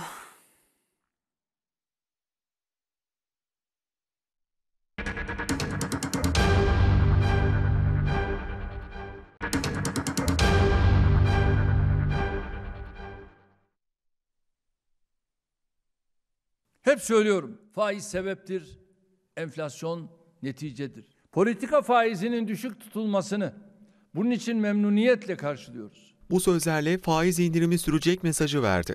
Cumhurbaşkanı Recep Tayyip Erdoğan düşük faiz politikasından geri adım atılmayacağını söyledi. Ardından İstanbul önemli bir toplantıya ev sahipliği yaptı. Merkez Bankası Başkanı Şahap Kavcıoğlu, Türkiye Bankalar Birliği üyeleriyle bir araya geldi. Düşük faiz politikasını anlattı. Ee, bilgilendirdik. Faiz indirimleri olsun diğer konularla ilgili. Karşılıklı görüş alışverişlerimiz, taleplerimizi, taleplerini değerlendirip her zaman olduğu gibi süreç içerisinde de bunları yerine getiriyoruz, getireceğiz. Kritik temas sonrası adı son dönemde bakanlık olduğu için geçen Hazine ve Maliye Bakan Yardımcısı Nurettin Nebati de dikkat çeken paylaşımlar yaptı. Sosyal medya hesabından faiz indirimlerinin devam edeceğini vurguladı. Sadece faiz ve döviz kuru ikilisine esas alan bir makroekonomik yaklaşım yerine düşük faiz yüksek üretim hacmine dayanan temel politika ekseninde yüksek istihdam, yüksek ihracat, düşük cari açık ve düşük dış borç hedeflenmektedir. 2013'ten beri düşük faiz politikamızı her uygulamaya yeltendiğimizde güçlü bir itirazla karşılaştık. Bu sefer bunu uygulamada kararlıyız. Bir gece dersini çalışırken mumla veya gaz lambasıyla ders çalışmıştır. Evet devam ediyoruz. Bu arada eee, az önce Kavala'nın kararı oy çokluğuyla alınmış. Bir üye hakim karara muhalefet şerhi koymuş. Gerekçesi de Kavala'nın savunması alındı. Kaçma ihtimali yok tahliye edilsin demiş. Ancak mahkeme oy çokluğuyla tahliye isteğini reddetmiş. Eee, o son dakika bilgiyi de paylaşmış olalım içerik olarak. Buyurun tamamlayın hocam. Ya da hocam tamamlasın öyle ben alayım. E, Ben şeyle ilgili bu e, metrodaki bıçaklı saldırı ile ilgili birkaç cümle ifade etmek isterim. E, kaldı ki siz şimdi bu Osman Kavala davası ile ilgili ver, e, işte verilen kararda işte şerh koyan hakimden bahsettiniz. Yani mahkemelerin içerisinde de böyle oy birliğiyle vesaire gibi e, kararlar da e, çıkabilir. Ama genellikle ciddi bir müzakere yapılır. Yani hakimler kendi aralarında dediğim gibi farklı görüşü e, olanlar da zaten karara katılmayarak e, rezervlerini, şerhlerini koyarlar. E, bu, bu, bu, bu, bu, bu mekanizma bu şekilde işler. Yani sonuç itibariyle tabii oy çokluğuyla karar e, verilmiş olur. E, bu kadına yönelik şiddet aslında ben o konuyla ilgili birkaç gündür zaten bu metrodaki bıçaklı saldırının önemli e, ölçüde e, artık bir şeyinin olması gerektiğini düşünüyorum. Sonuçları itibariyle. Ama ben özellikle hukukçu hanımefendiyi yani özellikle e, gerekçesinde yazmış olduğu e, hususlara e, dan dolayı tebrik ediyorum. Orada önemli olan husus bakın e, tutuklanmasına karar verilmesi silahla tehdit, yaralamaya teşebbüs, halk arasında korku ve paniğe e, neden olma. Sizin Mine Hanım az önce Amerika Birleşik Devletleri'ndeki halkı e, korku ve paniğe sevk edecek şekilde e, bir eylemde bulunma. Yani oradaki eylem sadece ilgili hanımefendilere, e, hanımefendiye ve annesine yönelik değil. Aynı zamanda diğer e, metroda bulunan yolcuların da aynı e, kadınların da veya erkeklerin de bir şekilde korkuya, dehşete, paniğe düşmelerine sebep olmuştur.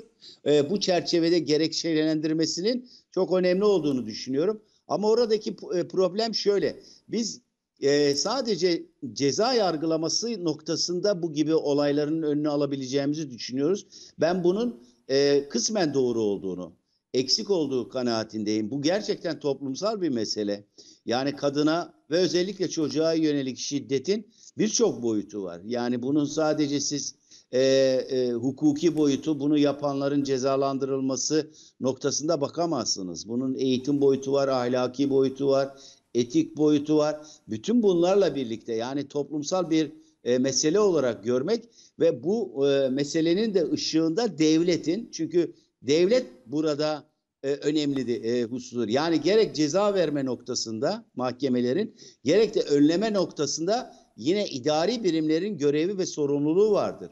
Yani vatandaşların efendim e, az önce Bişar Bey'in ifade ettiği husus vatandaşların ortaya tepkilerini koymaları şeyleri bu sadece bir ahlaki duruşla ilgili olabilir ama vatandaşların bu suç işleme kapasitesi olan, suç kaydı olan insanlarla ilgili kamuoyunun örnek e, kamuoyunu e, e, rahatsız eden efendim kitle iletişim araçlarında insanları rahatsızlık veren e, e, kişilerin e, özellikle devletin ilgili birimlerince ciddi şekilde takibinin yapılması lazım.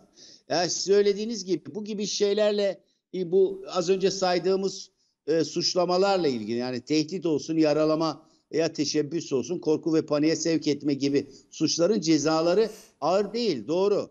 Yani bir müddet tutuklu kalacak, belirli bir ceza alacak. O cezadan sonra tekrar çıkma ihtimali var. Ama mesele orada bitmiyor ki. Mesele orada bitmiyor. Yani meseleyi şöyle görmek lazım.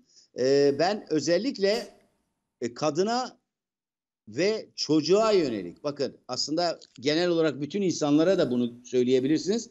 Ama kadına ve çocuğa yönelik bu gibi şiddet olaylarında cezaların hem artırılması hem de infazı noktasında bakın infazın o şimdi böyle e, böyle suçlardan hüküm giymiş insanların birkaç ayla cezaevinde kalması sonra serbest bırakılması e, adaletin tecelli etmesi noktasında eksik kalıyor. Yani hem e, adaletin çünkü adaletin e, hukukun var olma sebebi e, bir toplumda adaleti tecelli ettirmektir.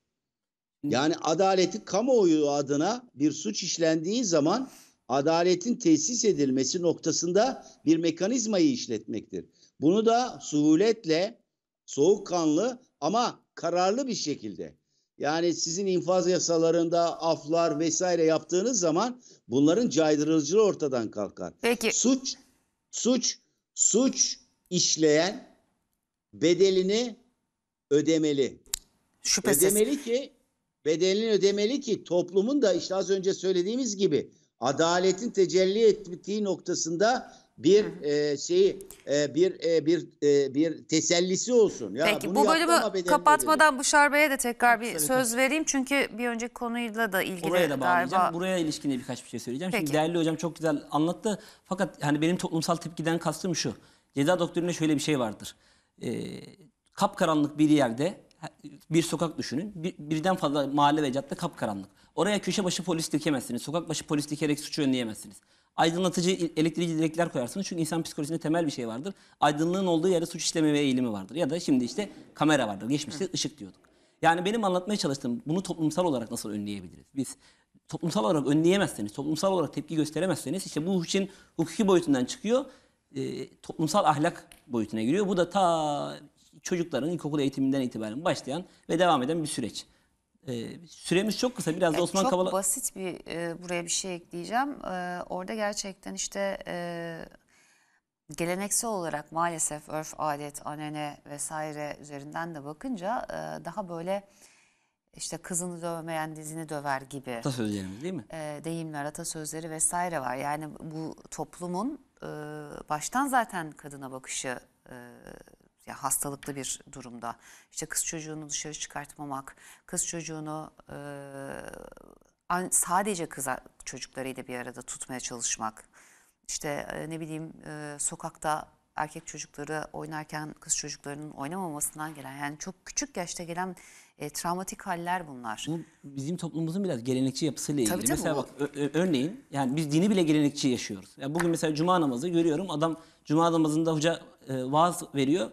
Oturmuş sünnetlerini kılıyor. Ya cuma e, vaazı farzdır dinlemek. Sen sünneti kılmamalısın. Ama niye onun babası öyle yapmış, dedesi öyle yapmış. Şimdi bu Valla orada Cuma namazı ile ilgili şunu söyleyeyim. E, Cuma namazı kadınlara farz olmadığı için Cuma namazının olduğu saatte e, kadın şoförler inanılmaz mutlu. daha rahatlar değil mi? Müthiş trafik acayip rahat oluyor. Şunu da ekleyeyim. Az önce değerli hocamın söylediğiyle, Osman Kavala dosyasına ilişkin söylediğiyle ilgili. Şimdi ben asla uluslararası e, yargı mercilerine bir kutsallık atfetmiyorum. Ama netice itibariyle biz buraya bağlı mıyız? Sözleşmenin altına imza atmış mıyız? Tabii ki de e, mahkeme kararlarında hatalar olabilir, sorunlar olabilir. Ama üst merciler onlar mı? Bitti. Şimdi benim mesela spor hukuku üzerine ilgileniyorum. Hocam İsviçre'de yanlış hatırlamıyorsam eğitim de aldı. Bizim e, kasta duruşmalarımız oluyor. FIFA'nın verdiği kararı kas denetliyor. İsviçre İşçi Mahkemesi'dir. Yani Hatta yanılmıyorsam siz bu konuda e, orada davalara girmiştiniz değil mi Beşiktaş'la ilgili? Bizim de şu anda devam eden davalarımız var. Mesela FIFA'nın verdiği çok lehimize olan kararlar kasta dönüyor. Ve yani bana kalırsa bir hukuk katliamı. Ama ben onu uygulamadığım zaman ne oluyor hocam? Siz benden çok daha iyi biliyorsunuz. Önce bana transfer yasağı koyuyor. Uygulamamaya devam mı ediyorum? Borcu ödemiyor muyum? Bana diyor ki senin puanını da siliyorum. Al işte sana yaptırım diyor. Kulüp olarak söylüyorum. Kulüp avukatıysam. Ya da futbolcu avukatıysam daha başka yaptırımlar uygulatabiliyorum. Çünkü neden? Ben tanımasa, tanım, tanımıyorum seni. Ey kas seni diyemiyorum. Bağlıyım. Yaptırımı var. Burada da şimdi gelelim spor hukukundan ceza hukuku kısmına. Bu da aynı şey. Yani ben yargı, üst merci var ama tartışamıyorum ki artık karar vermiş bitti. Ben o kararı uygulamakla mükellefim bir hukukçu olarak ya da bir ilk derece mahkemesi. Nasıl yani sizin yanınızda hocam diyelim bir asistanınız çalışıyor. Asistanınız bazen sizin inanmadığınız bir şey yapsa bile ne diyecek? Hoca böyle demişse yapacağım. Bitti bu kadar. Bunu tartışacak bir şey yok aslında çok temel. Çok temel. Ben inanın kutsallık atfetmiyorum. Ee, ahimde de tabii ki de çok büyük hatalı kararlar veriliyor. İkilik var. Dediğiniz doğru. Yani bugün Yunanistan'a üstüne gitmiyorken Azerbaycan'ı neredeyse konseyden atıyorlardı. 2010'da mı 11'de mi ne? Haklısınız. Yani ama benim- uygulamakla biz mükellefiz. örnek Benim- olmaz diye bir Sui laf misal emsal olmaz. Tabii tabii. Sui misal emsal olmaz çok doğru. Ben e, o şunu şöyle söylüyorum. Yani biz hukukçular olarak ya veya siyasetin önde gelenleri diyelim e, Türkiye'deki bu hukukla ilgili yargılama ile ilgili eleştirileri sıralarken ki yapılması lazım. E, aynı zamanda eğer işin uluslararası boyutu varsa uluslararası boyutunda da pencereye bakmamız lazım. Yani bardağın yarısı dolu veya yarısı boş diyebilmemiz lazım. Yani hukukçunun farkındalığı budur. Yani siyasi görüşler, efendim yaklaşımlar, iktidar taraflı veya tarafsız hiç hiç şey olmaması lazım.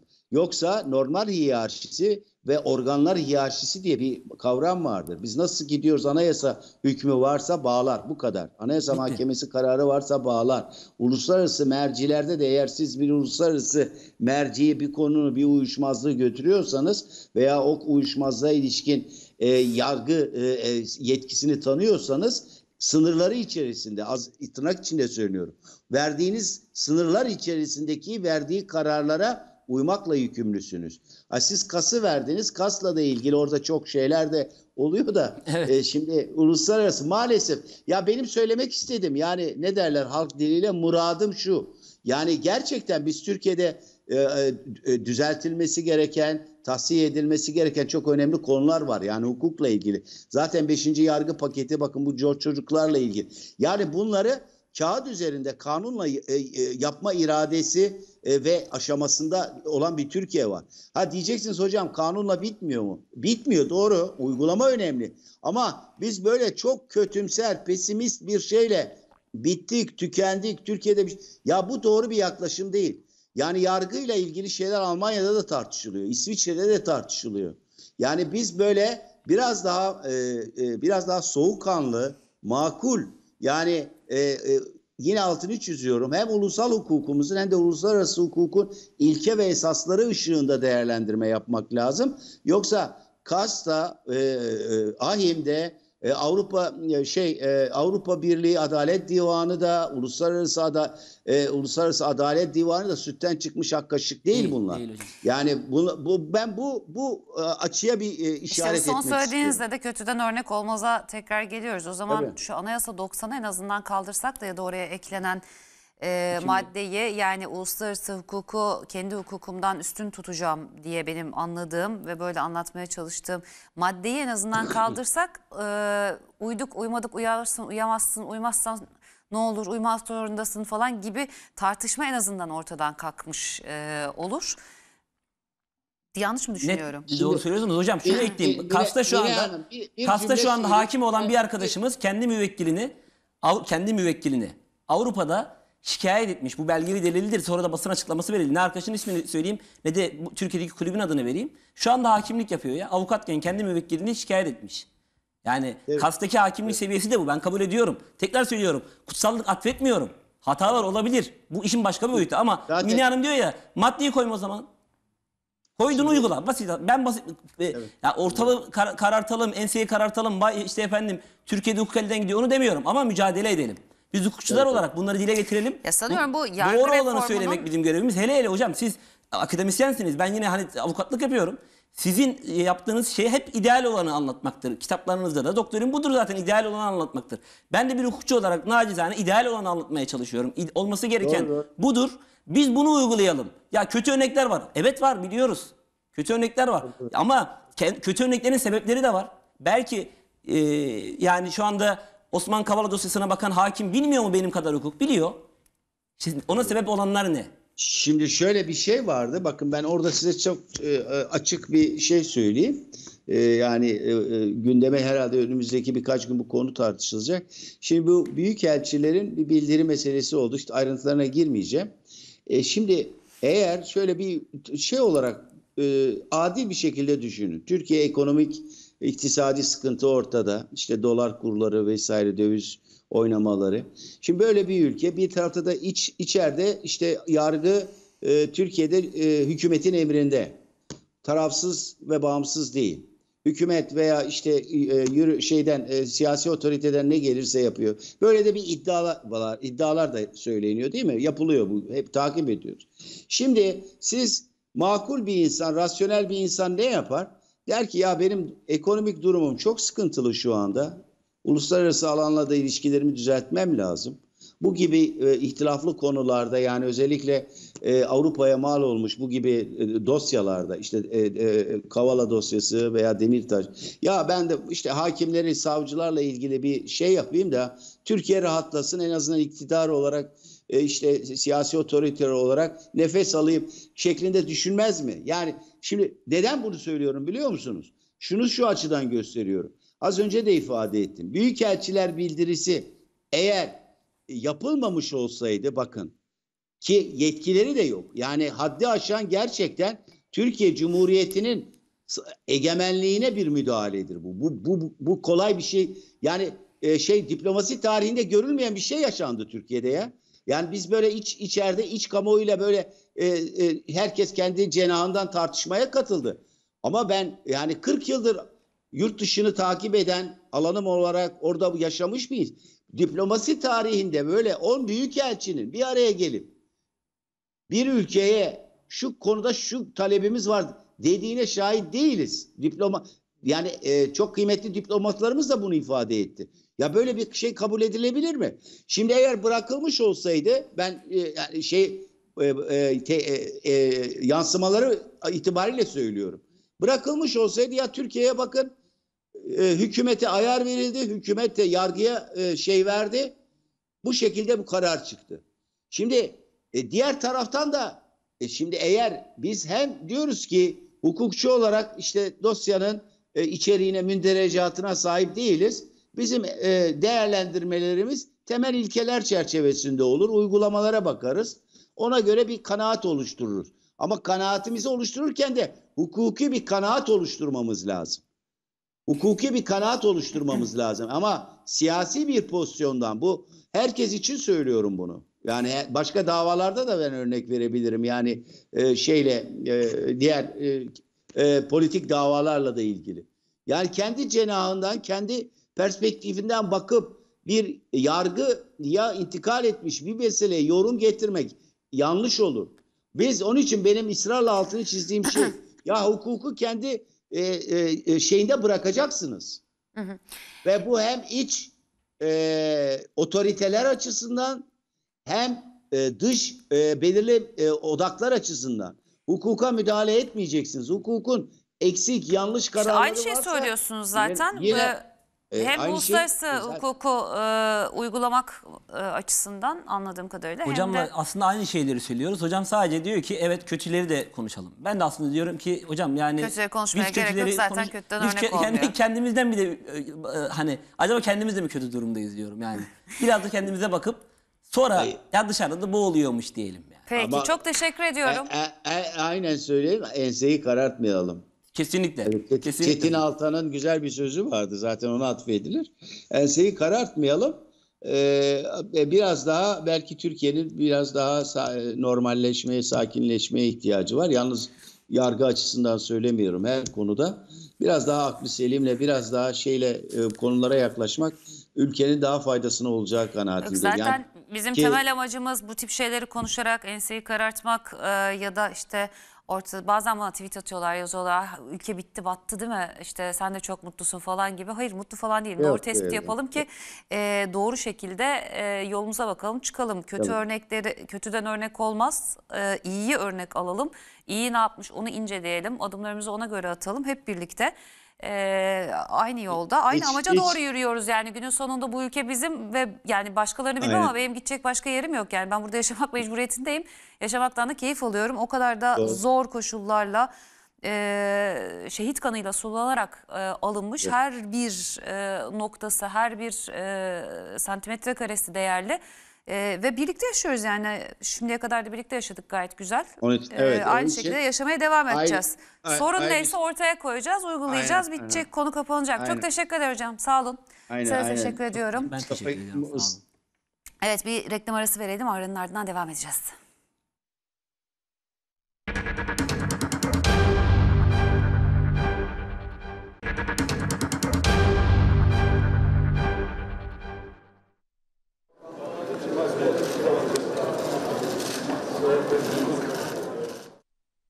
Yıllar itibariyle sağlık çalışanımızın sayısını arttırsak da ihtiyacımız büyüyerek devam etmektedir. Sağlık sektörünün gücüne vurgu yaptı. Sürekli gelişime karşın ortaya çıkan eksiklerin giderileceğini söyledi. Binlerce sağlık personeline müjdeyi verdi.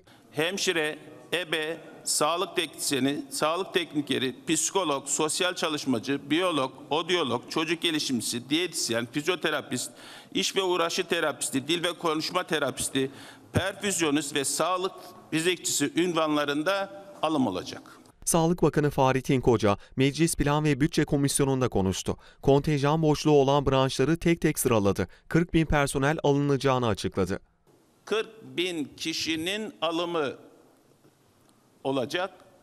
KPSS puanına göre ÖSYM tarafından yapılacak yerleştirme ile mülakat yapılmadan 30 bin sözleşmeli sağlık personelin alım süreci başlıyor. Yine mülakat yapılmadan kura ile 10 bin sürekli iş, işçi alımı da yapılıyor olacak.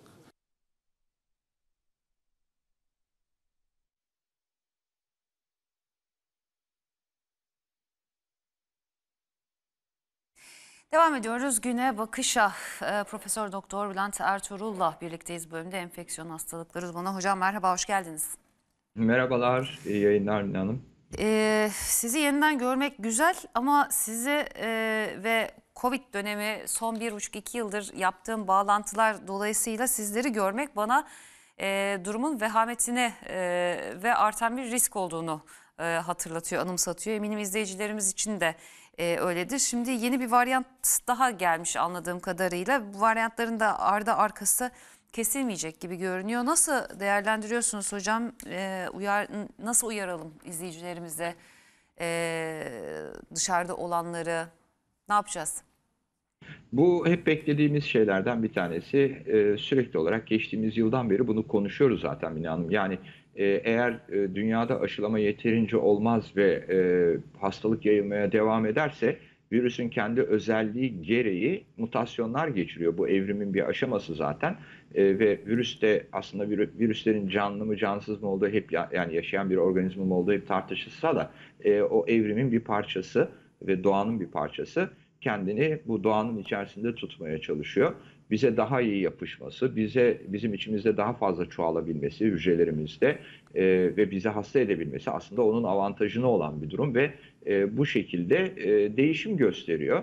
E, şu anda yeni varyantın olması e, evet e, sıkıntılı ama varyantla ilgili de şunu söyleyebiliriz. E, hani bir varyantın ortaya çıkması her varyantta e, bir risk olduğu anlamına da gelmiyor. Yani o varyantla ilgili bir takım çalışmaların yapılması gerekiyor. Daha çabuk bulaşabiliyor mu? E, İşte bu Hindistan varyantı dediğimiz varyantta, Delta varyantında bizim korktuğumuz e, olay şuydu. E, nötr virüsten, o ilk çıkan, ortaya çıkan virüsten daha kolay bulaşıyor mu diye sorduk. Onun yanıtı evet çıktı. E, o zaman da e, gerçekten korkmuştuk ve bir süre sonra hakim suç haline gelmişti o. E, ama daha ağır hastalık tablosu oluşturmamıştı. Yani ikinci korktuğumuz da odur. E, acaba daha ağır hastalık tablosu oluşturur mu, ölümleri artırır mı diye. Onun olmadığını gördük. Bu varyantta da çok yaşayın. Hep beraber arada. hocam. E, Bir düz grip olsun. olamadım ki iki yıldır bir vücudum grip olmak istiyor sanırım şu anda. Sürekli Aman, her şeyden olmasın. kaça kaça. Evet olmasın. Ee, bu varyantta da şimdi çalışmalar yapılacak, bakılacak. Acaba daha çabuk mu bulaşıyor, daha hızlı yayılabiliyor mu? Ee, sonra e, ağır hastalık tablosunu etkiliyor mu? Bunlar e, araştırıldıktan sonra e, o zaman daha net konuşabileceğiz bu varyantla ilgili. Ee, peki şimdi Profesör Doktor Tevfik Özlü'nün bir uyarısı var. Ee, o diyor ki dalgalanmalar oluyor, kimi zaman azalıyor, kimi zaman artıyor ama genel olarak baktığımızda vaka sayıları çok yüksek. Ee, pandemide ilk dalga gibiyiz neredeyse e, tarzında bir uyarıda e, bulunmuş. Ee, şimdi bir taraftan da e, onu da sorayım eczanelerde ilaç bulunamıyor e, gibi bir kaygı da var. E, herhangi bir şey herhangi bir şeye doğru evrilir mi, karıştırır mıyız?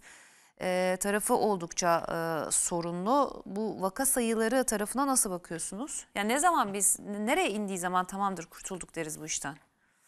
Şimdi bunun bir e, ölçütü var aslına bakarsanız. 100 binde 25'in altına düşmesi gerekiyor e, hasta oranının. E, ama biz şu anda çok yükseklerdeyiz. Yani 100 binde 250-300'ler civarındayız. 250'yi aşmış durumdayız. Ve bu Ağustos ayından beri böyle. E, o nedenle aslına bakarsanız e, pandeminin artık buna dördüncü dalgası da diyebilirsiniz. Ne derseniz pik de diyebilirsiniz. O terminoloji de karıştı çünkü. E, hala onun içerisindeyiz. E, ve e, aşı oranlarımız yeterli değil. E, buna bağlı olarak da ne yazık ki can kayıplarımız çok yüksek. E, yani ben size şöyle bir soru e, sorayım ve yanıtını beklemeden e, devam edeyim aslına bakarsanız. Şimdi Allah korusun ülkemiz bir savaşta olsa e, ve her gün 200'e yakın askerimiz şehit olsa bu ülkede kaos olur.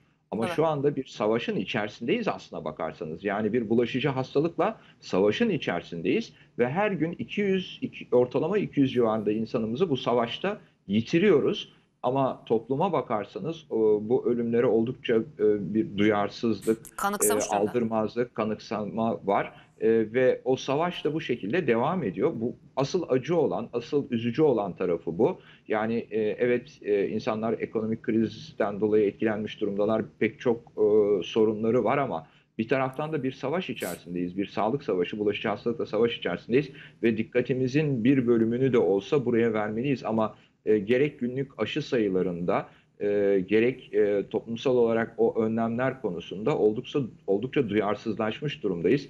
Ve ne yazık ki hastanelere gelen hasta sayısı da artmaya başladı. Tekrar artmaya başladı. E, örneğin bizim hastanemizde e, ortalama e, hani 10 civarında hasta olurdu sürekli olarak serviste ama şu son bir hafta 10 gündür bu sayının gitgide artmaya başladığını e, gördük. Hani bir ikisi taburcu olur, bir iki tane gele- gelirdi. E, ama şimdi son e, 10 gündür yavaş yavaş artmaya başladığını, iller düzeyinde e, bir takım e, paniklerin başladığını, örneğin geçen gün Tunceli'den gelen bir açıklama vardı. E, yoğun bakımların, yoğun bakım yataklarının %90'ının dolduğunu ve dolmaya başladığına ilişkin. Yani bunlar e, aslında kışa doğru giderken e, kötüye işaretler. E, ama toplumun geneline baktığınız zaman ise e, her şey e, pandemi öncesindeki normal e, seviyede devam ediyor. E, biz hekimlerin yapacağı çok fazla bir şey kalmadı. Yani bundan sonra yapacağımız sadece bize hasta olarak gelenleri tedavi etmeye çalışmak. Hani koruma önlemleri artık e, neredeyse bitmiş gibi. Aşı da nede- nedense e, o denli e, üzerinde durulan bir konu e, olmaktan çıktı. E, Türkiye'nin başka gündemleri nedeniyle E, ve e, biz sağlık çalışanları gene hastalarla ve hastalıkla baş başa kaldık gibi görünüyor. E, aşı demişken e, işte yavaş yavaş üçüncü doz aşılar e, çoğu kişiye çıkıyor. Biontech açısından söylüyorum bunu. E, 6 ayda bir aşı mı olacağız bundan sonra? Arada Şimdi Covid onu olmazsak tabii. Evet, e, o, o daha tam net değil. E, çünkü e, şöyle belirtmekte fayda var. E, Şimdi bir aşı takvimi çıkartmaya çalışıyoruz aslında. E, ve elimizde birden çok çeşitli aşı var. Yani işte inaktive virüs aşısı var, mRNA aşısı var, vektör aşıları var e, vesaire vesaire. Şimdi bir aşının aşı takviminin çıkabilmesi için de belirli bir zaman geçmesi gerekiyor. Örneğin hepatit B için bile bu yaklaşık 5-10 yıl falan sürdü. Yani hepatit B aşısı biliyorsunuz Türkiye'de 1990'ların sonuna doğru da rutin aşı programına girdi. E, ve bu sayede hepatit B ile savaşta büyük bir e, ö- yer kazanmış olduk. Şu anda Türkiye'de doğan çocukların hepsi hepatit B'ye karşı aşılı ve hepatit B artık görünmeyecek düzeylere gelmeye başladı. Bu çok sevindirici. Bu aşıda da aşı takviminin oluşabilmesi için belirli bir zaman geçmesi gerekiyor.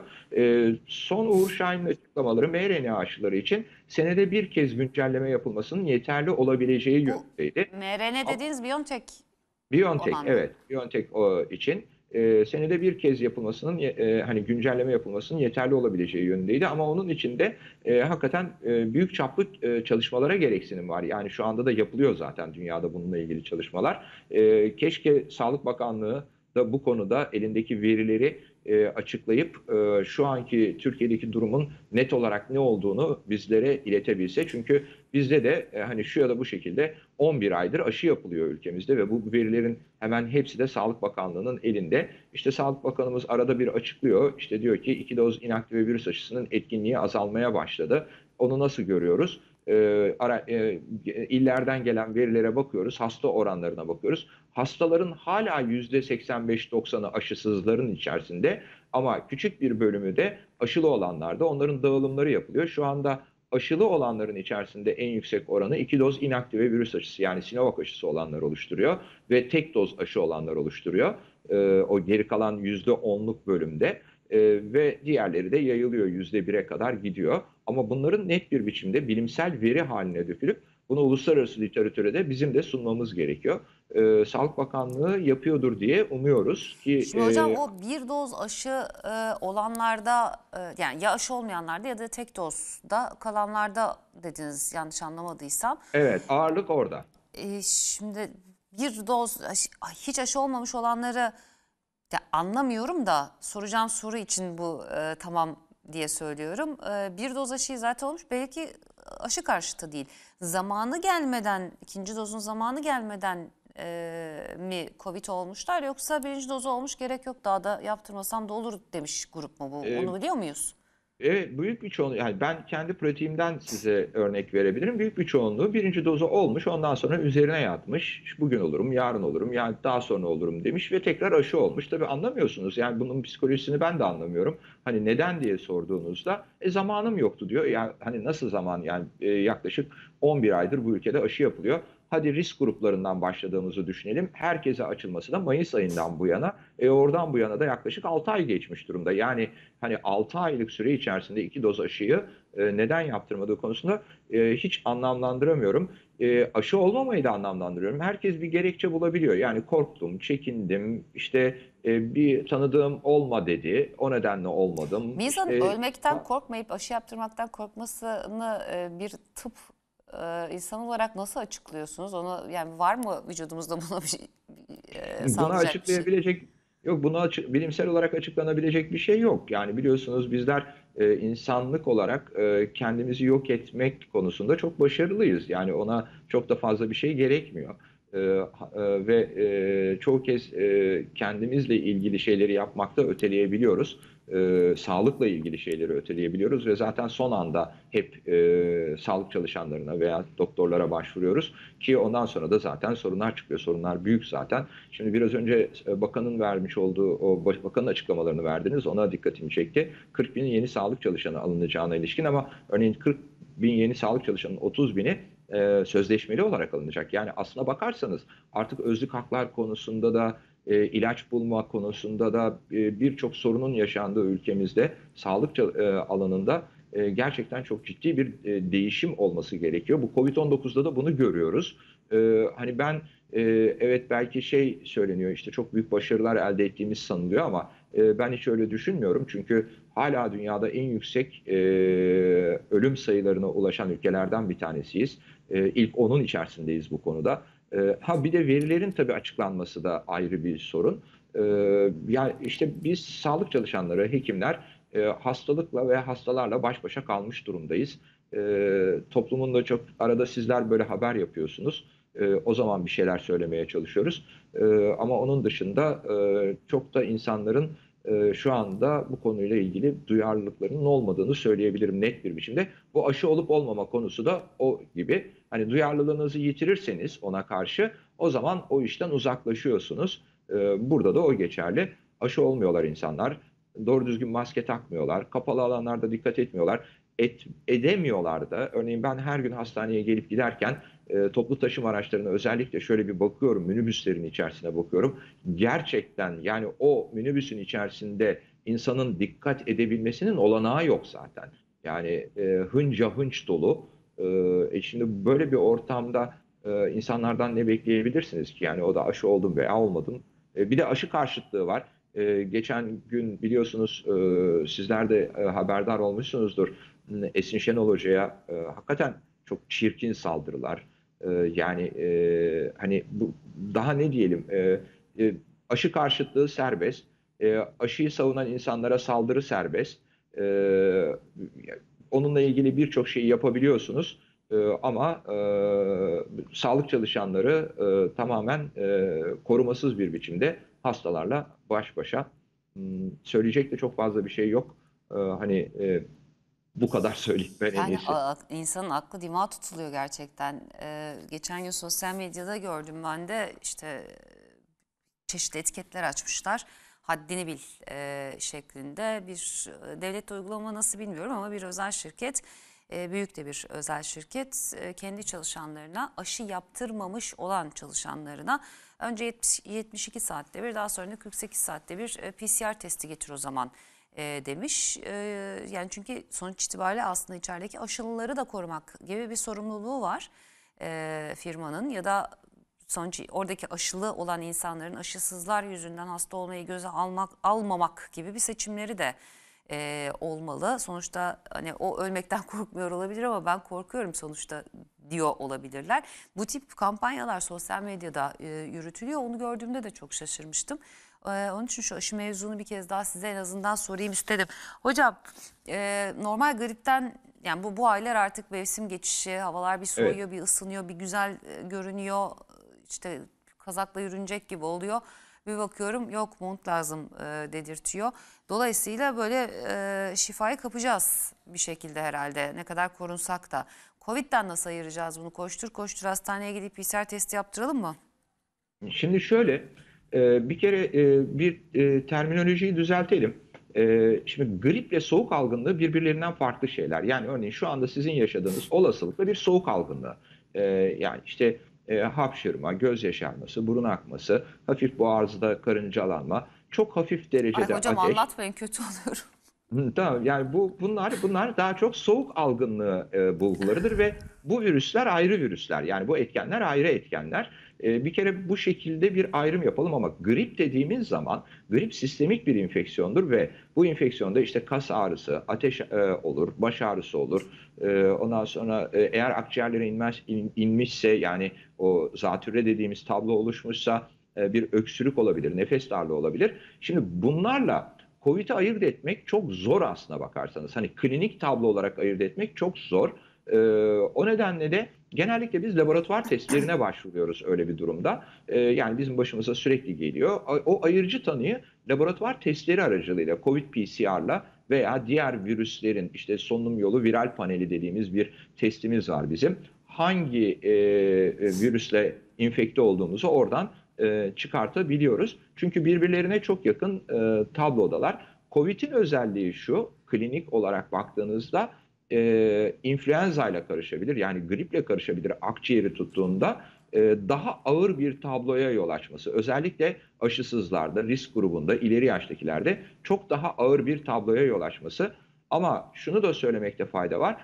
Aşılı olanlarda da e, COVID e, çok hafif derecede bir soğuk algınlığı tablosuyla geçirilebilir. Bu nedenle ben e, hani bu tür tablosu olanlara aslına bakarsanız hızlı antijen testi Avrupa'da bu öneriliyor. Hemen e, insanlar pratik olarak kendileri yapıyorlar ama ülkemizde ne yazık ki yaygınlaşmadı. PCR'dan çok daha ucuz ve çok daha kolay. Kişinin kendi yapabileceği bir test. Hani bu gebelik testi gibi hemen örneğini alıyorsunuz, damlatıyorsunuz şeyin üzerine. Bir renk değişimi varsa o zaman e, pozitif diyorsunuz. Ondan sonra belki PCR yapılabilir.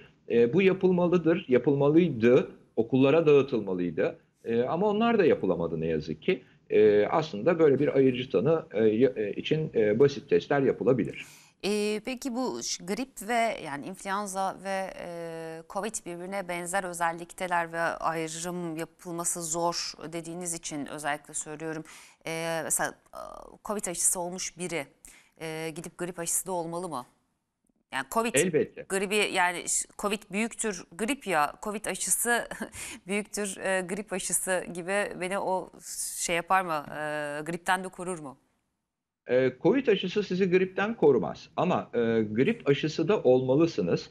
E, özellikle risk grubunda olanların mutlaka grip aşısı da olması gerekir. Zaten onların rehberleri var. Yani 65 yaşın veya 60 yaşın üzerindeyse hasta e, kişi pardon e, altta yatan bir hastalığı varsa şeker hastası, kalp hastası, e, yapısal akciğer hastalığı veya bağışıklık yetmezliği durumu gibi bir takım e, e, şeyleri varsa mutlaka ve mutlaka e, grip aşısı da olmalı. Çünkü o kişilerde grip çok daha ağır tabloyla geçebiliyor. Yani akciğer tutulumuyla seyredebiliyor. Pnömoni dediğimiz tablo oluşabiliyor ve onun üzerine sekonder yani ikincil olarak bakteriyel enfeksiyonlar oturabiliyor ve hasta birdenbire çok kötüleşebiliyor. Yani ölümcül sonuçları doğa, e, doğabiliyor ki e, yaklaşık olarak dünyada her yıl e, nüfusun %15-25'i e, e, grip yani influenza ile karşılaşıyor E, ve ne yazık ki de 250 bin ila 500 bin kişi e, influenza kaynaklı gripten e, yaşamını yitiriyor. E, işte bundan korunabilmek için de grip aşısı olmalı.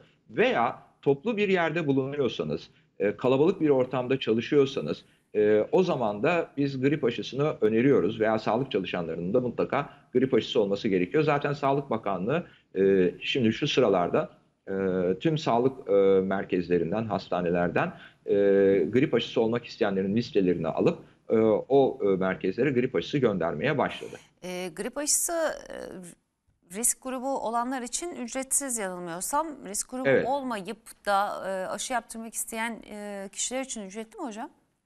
Şimdi bu değişebiliyor. Yani örneğin sağlık çalışanları için ücretsiz veya bu tür e, önemli kamusal görev yapanlar için e, ücretsiz olarak temin edile- edilebiliyor.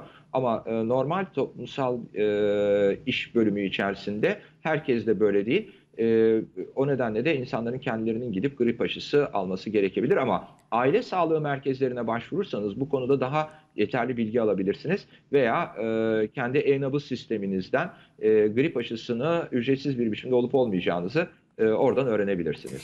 E, hocam bir de bu e, ilaç bulamama e, gibi bir takım sorunlar ortaya çıkmaya başladı.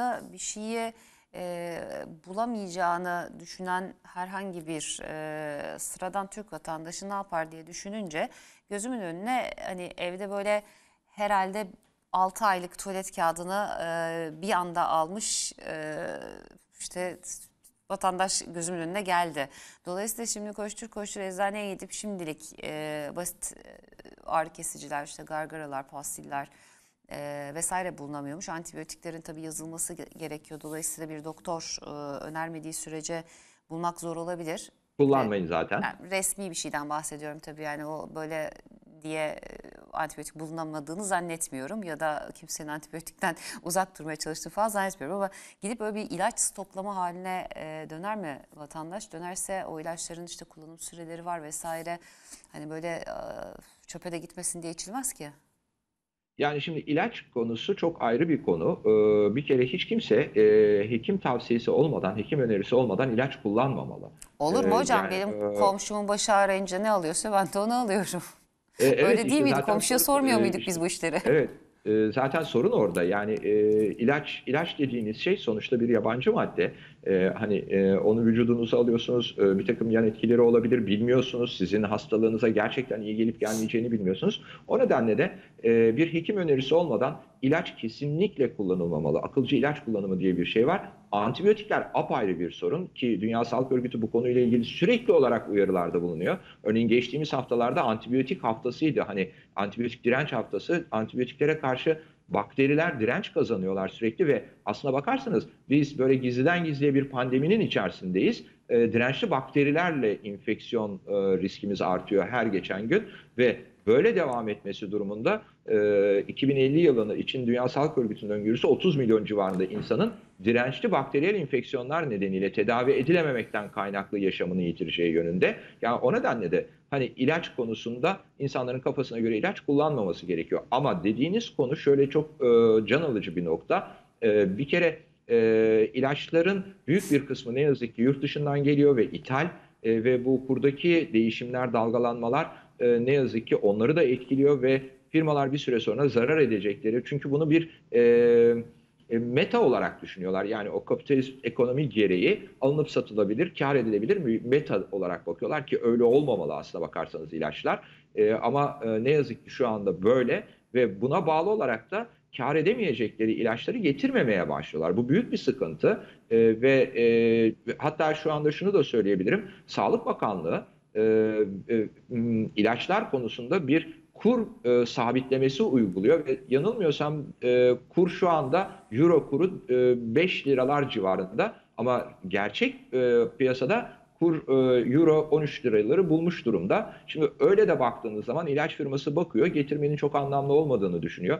Bizim antibiyotiklerde çok basit ve çok yararlı olan antibiyotiklerin bazıları çok ucuz ve kar getirilmediği e, getirici olmadığından dolayı getirilemiyor ve buna bağlı olarak da ne yazık ki ilaç bulunamıyor. Bu işin bir yönü. Bir de diğer yönü var. Örneğin e, hastaneler, üniversite hastaneleri, devlet hastaneleri bunlar için alım yapmaya çalışıyor. E, fakat e, tabii ki geri ödemeleri çok uzun vadelerde olduğundan dolayı ve bu döviz kurundaki dalgalanmalar nedeniyle e, depolar ve ilaç firmaları oralara da ilaç vermekten imtina edebiliyorlar, e, geri çekilebiliyorlar. Böyle de bir sorunla karşı karşıyayız. Kısacası işte biraz önce söylediğim gibi e, sağlık alanında Türkiye'nin gerçekten çok ciddi dönüşümlere gereksinimi var. Kamucu bir sağlık anlayışıyla yeniden örgütlenmesine gereksinimi var. E, ama e, bunu yapamıyoruz ve bunun içinde zaten bugün Ankara'da Türk Tabipler Birliği'nin öncülüğünde bir de e, e, eylem var e, şu anda. E, hekimler kendi seslerini duyurmaya çalışıyorlar. E, e, sağlık alanındaki bu sorunları e, aktarmaya çalışıyorlar topluma. E, bakalım ne kadar duyurabileceğiz e, bilemiyorum. E, işte sizler yer verirseniz ancak o zaman duyurabileceğiz seslerimizi. Ee, hocam son bir soru. Ee, daha önce işte hapşırıyordum, öksürüyordum. İşte aynen böyle hissediyordum. Doktora da gitmiştim. O da bana X ilacını vermişti. Hadi komşuya da sormadım. Doktora da gittim. Ee, yine aynı şeyi hissediyorum. Ee, o ilacı alayım mı? Hayır tabii Şimdi ki. bir de böyle Yani bir bu, bu ama hocam siz illa doktora yine mi git diyorsunuz? E bakın şimdi alacağınız e, şimdi aynı belirtileri göstermek demek aynı etkenle hasta olduğunuz anlamına gelmez. E, yani evet e, bir tonsilofaranjit olmuşsunuzdur. Yani boğaz enfeksiyonu, bademcik enfeksiyonu olmuşsunuzdur. Bunun bakteriyel veya viral olup olmadığının ayrımını ancak sizin hekiminiz karar verebilir.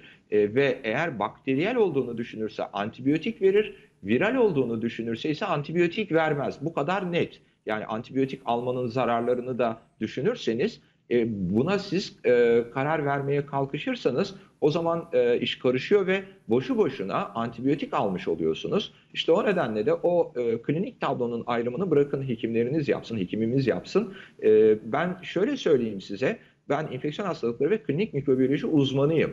Ama kendi uzmanlık alanım dışında kendim bir rahatsızlık geçiriyorsam bile kendim gidip meslektaşıma ya ben şöyle bir rahatsızlığım var ne diyorsun nasıl davranayım deyip ona danışıyorum. O beni muayene ediyor ve ona göre e, ilaç kullanıyorum. Yani hani ben doktorum diye de her şeyi biliyorum anlamına gelmiyor. E, kendi uzmanlık alanım dışında bir başka rahatsızlığım varsa o zaman o uzmanlık alanındaki meslektaşıma danışıp onun bana ilaç önermesini istiyorum. Peki hocam çok teşekkür ediyorum. Ee, bir kez daha aslında son söylediğiniz çok çok önemli. Yani her söylediğiniz çok önemli ama son söylediğiniz e, hayatımızın her alanı için e, geçerli. Çünkü herkes her şeyin uzmanı olduğunu düşünüyor. Herkes her konuda e, konuşuyor. Siz belirli bir alanın uzmanı iken ve o diğer konu hakkında da çok şey e, bilirken yine de daha uzmanına e, gidilmesi gerektiğinin de altını çizmiş olduğunuz böylece e, umuyorum herkes kendi uzmanlığında e, konuşmaya devam eder e, diyeyim. Çok çok teşekkür ediyorum. Sağ olunuz katkılarınız için. Ben de teşekkür ederim. İyi yayınlar Mine Hanım. Sağ olunuz. Bir reklam arası verelim. Reklamın ardından devam edeceğiz.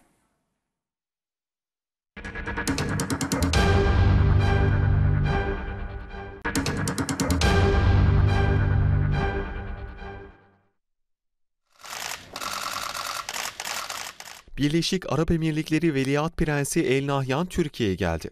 Cumhurbaşkanı Recep Tayyip Erdoğan'la görüştü. Çantasında 100 milyar dolarlık yatırım planı vardı.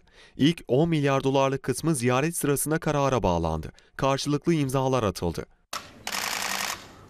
Cumhurbaşkanlığı İletişim Başkanı Fahrettin Altun ziyareti ilişkin tweet attı. İki ülkenin ekonomik ilişkilerini güçlendirmeye kararlı olduğunu belirtti. Bu ziyaret, devletimizin bölgesel barış ve istikrarı tesis etmeye yönelik çabalarını kanıtlayan önemli bir ziyaret oldu. Türkiye ve Birleşik Arap Emirlikleri ikili ekonomik ilişkilerini güçlendirme ve bölgesel işbirliği fırsatlarından yararlanma hususlarında kararlıdır. Bunun Türkiye-Körfez ilişkilerinde bölgesel istikrar açısından yeni bir dönemin başlangıcı olacağına inanıyoruz.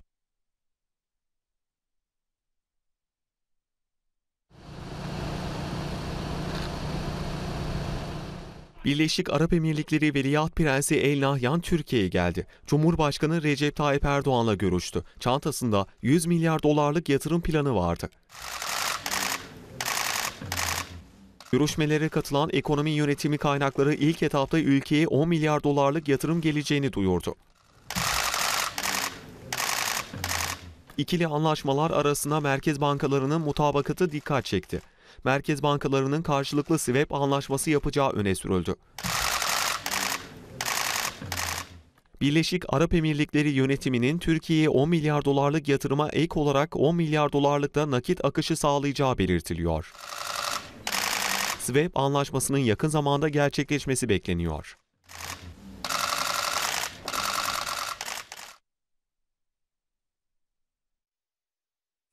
Evet devam ediyoruz güne bakışa. Ee, Doktor Ali Semin bizimle birlikte e, bu bölümde. Merhabalar hocam. Merhabalar, iyi yayınlar. Teşekkür ediyorum. Ee, bu Baya ile birlikte başlayalım biz de konuşmaya. Orada e, birçok aslında e, sorun e, vardı aramızda. 9 yıldır e, yüz yüze bir görüşme yapılmıyordu. İhracat ithalat tabii ki gerçekleşiyor. Öyle ticareti kesmek e, çok mümkün değil ama e, işte Yunanistan'a verdiği desteği e, çok uzunca bir süre konuştuk. Mısır, Libya, e, Suriye konusunda bizimle aynı görüşte olmadığı, bizimle hemen hemen her yerde e, ters düştüğünü e, çokça konuştuk. E, 15 Temmuz konusunda onlara söylediğimiz e, cümleler ortada. E, 15 Evet. Temmuz'un yani bizim için e, işte e, hain darbe girişimi diyoruz ne kadar önemli me- gazi meclise gazi um- unvanının verildiği bir olaydan aslında e, maalesef bahsediyoruz ve bunun finansörü olmakla e, suçladığımız bir e, ülke. Şimdi yavaş yavaş e, bir dostluk kurulma çabası var gördüğümüz kadarıyla. E, burada da Sabah gazetesi yazarı Burhanettin e, Duran tam da e, bunlara e, işaret etmiş. Bunları biraz konuşalım isterim. Baya ile nasıl bir yeni sayfa e, başlığını atmış kendi e, yazısına. E, diyor ki Birleşik Arap Emirlikleri'nin Yunanistan'a verdiği desteğin mahiyeti Ankara'yı rahatsız edebilir. Baya burada Yunanistan'a verdiği desteği geri çeker mi ya da en azından asgari düzeye indirir mi? Çünkü Türkiye'ye karşı e, bir ittifak doğdu Akdeniz'de e, diye e, başlamış mesela. İlk sorusu bu. Ne dersiniz? Şimdi şöyle Mina Hanım aslında sadece Birleşik Arap Emirlikleri'de değil, tabii Birleşik Arap Emirlikleri bölgede çok aktif bir rol almaya çalıştı. O da bölge sorunlarına tam anlamıyla müdahil olmaya çalıştığını görüyoruz. Bu da e, Türkiye ile ilişkilerinin özellikle e, ik- 2013 yılındaki Mısır hatırlarsanız Mısır'daki Sisi darbesiyle birlikte e, başlayan bir e, kriz var. E, ve bu krizin neticesinde de Doğu Akdeniz'de olsun, e, Libya'da olsun, Suriye'de olsun pek çok bölgesel konularda Türkiye ile karşı karşıya geldiğini görüyoruz. Yani bütün bu olaylara baktığımız zaman e, şimdi şöyle bir gerçek de var. Siz de belirttiniz. Ekonomi açı- açıdan baktığımız zaman e, Birleşik Arap Emirlikleri ile Türkiye e, arasındaki ticaret hacminin e, çok iyi gittiğini de biliyoruz. Yani ticari anlamda bir ilişkinin söz konusu olduğu olduğunu biliyoruz ve onun dışında da şöyle bir durum var. Tabii yatırımlar konusunda, yatırım konusunda biraz geri çekmişti kendisini Birleşik Arap Emirlikleri. Ancak şimdi bu görüşmelerden sonra nasıl bir e, tablo ortaya çıkacak? Tabii ekonomik açıdan baktığımız zaman e, ciddi adımlar atıldığı ve bu adımların gelecekte de ekonomi Türkiye'nin ekonomisine de büyük e, yani en azından e, e, bir e, oranda bir desteği olacağını e, biliyoruz. Onun dışında asıl mesele şimdi bölgesel anlamdaki gelişmeler. Yani e, Sayın Burhanedin, Duran da orada o soruyu sormuş. Yunanistan'la ilgili tavrından ziyade bence Doğu Akdeniz genelinde ve Mısır e, Libya'daki tutumu çok önemli. Lib- Libya özellikle çok önemlidir. Burada e, 24 Aralık'ta biliyorsunuz Libya'da bir seçim yapılacak. Başkanlık seçimi ve parlamento seçimi. E, burada e, Haftar'a mı destek verecek? Türkiye karşıtı e, olan Haftar'ı mı destekleyecek yoksa Türkiye'nin desteklediği meşru hükümeti mi destekleyecek?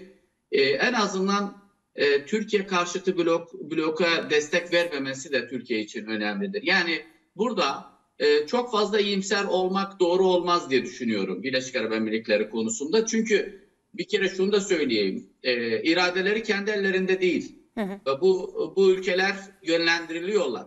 E, bunu unutmayalım. Batı tarafından, İngiltere tarafından, Fransa tarafından, e, Birleşik, e, Bile- e, Amerika Birleşik Devletleri tarafından yönlendirildiğini de bilelim. Bunu bir e, bir kenara koymak lazım. Ama şöyle bir durumda var. Türkiye artık bölgesindeki sorunları kiminle sorun yaşıyorsa yaşasın kendisi e, üçüncü bir ülkeyi araya almadan çözmeye çalışıyor. 2021 e, yılı ile birlikte hatırlarsanız bu e, dış dış politikasında ciddi bir reform olduğunu ben görüyorum. O da nasıl re- reform nedir? İşte Mısır'la ilişkilerin düzel- düzeltilmesi, e, Birleşik Arap Emirlikleri ile, Suudi Arabistan'la, Körfez ülkeleri geneliyle yani sadece Katar'la değil bütün Körfez ülkeleriyle, Arap dünyasıyla da iyi ilişkiler kurmaya çalıştığını görüyoruz Türkiye'nin. Ama bir de e, İsrail faktörü söz konusu. İsrail'le de ilişkilerinin normalleşme sürecine gireceğini önümüzdeki süreçlerde görebiliriz. Şimdi bütün bunlara baktığımız zaman e, gerçek anlamda konjonktürel bir değişim var. Bu değişimin sadece Türkiye mi istedi e, yoksa Birleşik Arap Emirlikleri mi istedi? Bu tartışmaları biliyorsunuz çok e, medyada da çok tartışılıyor. Ancak benim gördüğüm kadarıyla e, Birleşik Arap Emirlikleri içinde özellikle Körfez ülkeleri arasındaki denklemin dengelerin değişmesiyle birlikte Türkiye ile değil sadece Türkiye ile aynı zamanda İran'la da ilişkilerini güçlendirdiğini görüyoruz. Hatırlarsanız 2017 yılının Haziran ayında e, Katar'la ilişkilerini koparan e, Birleşik Arap Emirlikleri ne için koparmıştı? Müslüman kardeşlere destek verdiğini ve İran'la çok iyi ilişkiler kurduğu için. Ama şimdi bakıyoruz e, İran'la ilişki kurmaya çalışıyor Türkiye ile. Bu, onun da önemli bir sebebi var. E, şudur, o da sebebi. Artık Körfez ülkeleri içerisinde Suudi Arabistan'ın sadece ve sadece e, Birleşik Arap Emirlikleri ile hareket etmediğini, daha sonra alternatif özellikle Umman'la ilişkilerini güçlendirdiğini Suudi Arabistan'ın ve hatta artık e, Dubai yerine mesela e, bir firma, bir e, bir şirket ya da bir iş adamı eğer e, Suudi Arabistan'da yatırım yapmak istiyorsa e, şirketinin merkezini Suudi Arabistan'a taşıması gerekiyor. Riyad'a taşıması gerekiyor. Bunu da göz önünde bulundurduğumuz zaman şimdi Türkiye'nin de yatırım için önemli bir pazar olduğunu ve bunu bu şekilde bypass edeceğini. Diğer taraftan da ticari bir koridor oluşturmaya çalışıyor Birleşik Arap Emirlikleri. E, bu ticaret koridoru e, özellikle Birleşik Arap Emirlikleri'den çıkan malları İran, İran üzerinden e, Türkiye'ye, Mersin üzerinden bir ticaret koridoru oluşturmaya çalışıyor. Daha önce 20 günlük olan süreci 6 günle 8 güne düşürecek bu, e, bu koridor gerçekleşmiş olursa. Ve diğer taraftan da Süveyş e, kanalını da e, zayıflatacak bu ticaret hacmi. Şimdi şöyle bir şey de var. Bu ilişkilerin iyileşmesi Birleşik Arap Emirlikleri ile eğer bu ticaret koridoru gerçekleşirse Türkiye ile Mısır'la ilişkiler nasıl olacak ki normalleşme sürecine girmişiz. Orada da e, belki bu, bu konuda bir e, problem çıkabilir diye düşünüyorum. Ancak e, dediğim gibi şu ana kadar benim gördüğüm iki tarafta daha önce sorun yaşadıkları konuları çok fazla gündeme getirmediler. Sadece e, e, çözüm arayışı içerisinde işbirliği e, üzerinde bir Hı hı. çalışma olduğunu ve bunun da ekonomik, e, ticari yatırımlar üzerinden gittiğini, diplomasi bakın dikkat edin bölgesel anlamda bir e, işte Libya'da şunu destekliyoruz birlikte bunu bu konuda ya da Suriye'de bu konuda biz mutabık kaldık denmedi şu ana kadar açıklamalarda. Evet, Ama teşekkür ediyorum hocam. Ekonomik ticaret e, e, doğrultusunda bir e, toplantı olduğunu görüyoruz, görüşme olduğunu. Peki çok teşekkür ediyorum hocam, ediyorum hocam. Sağ olunuz. Güne bakışı kapatırken Cumhurbaşkanı Recep Tayyip Erdoğan'ın yaptığı e, mitinge döneceğiz, konuşmaya döneceğiz. Alsancak stadıyla 96 tesisin toplu açılış töreninde konuşuyor. Bitcoin üç kolay adımda Coin para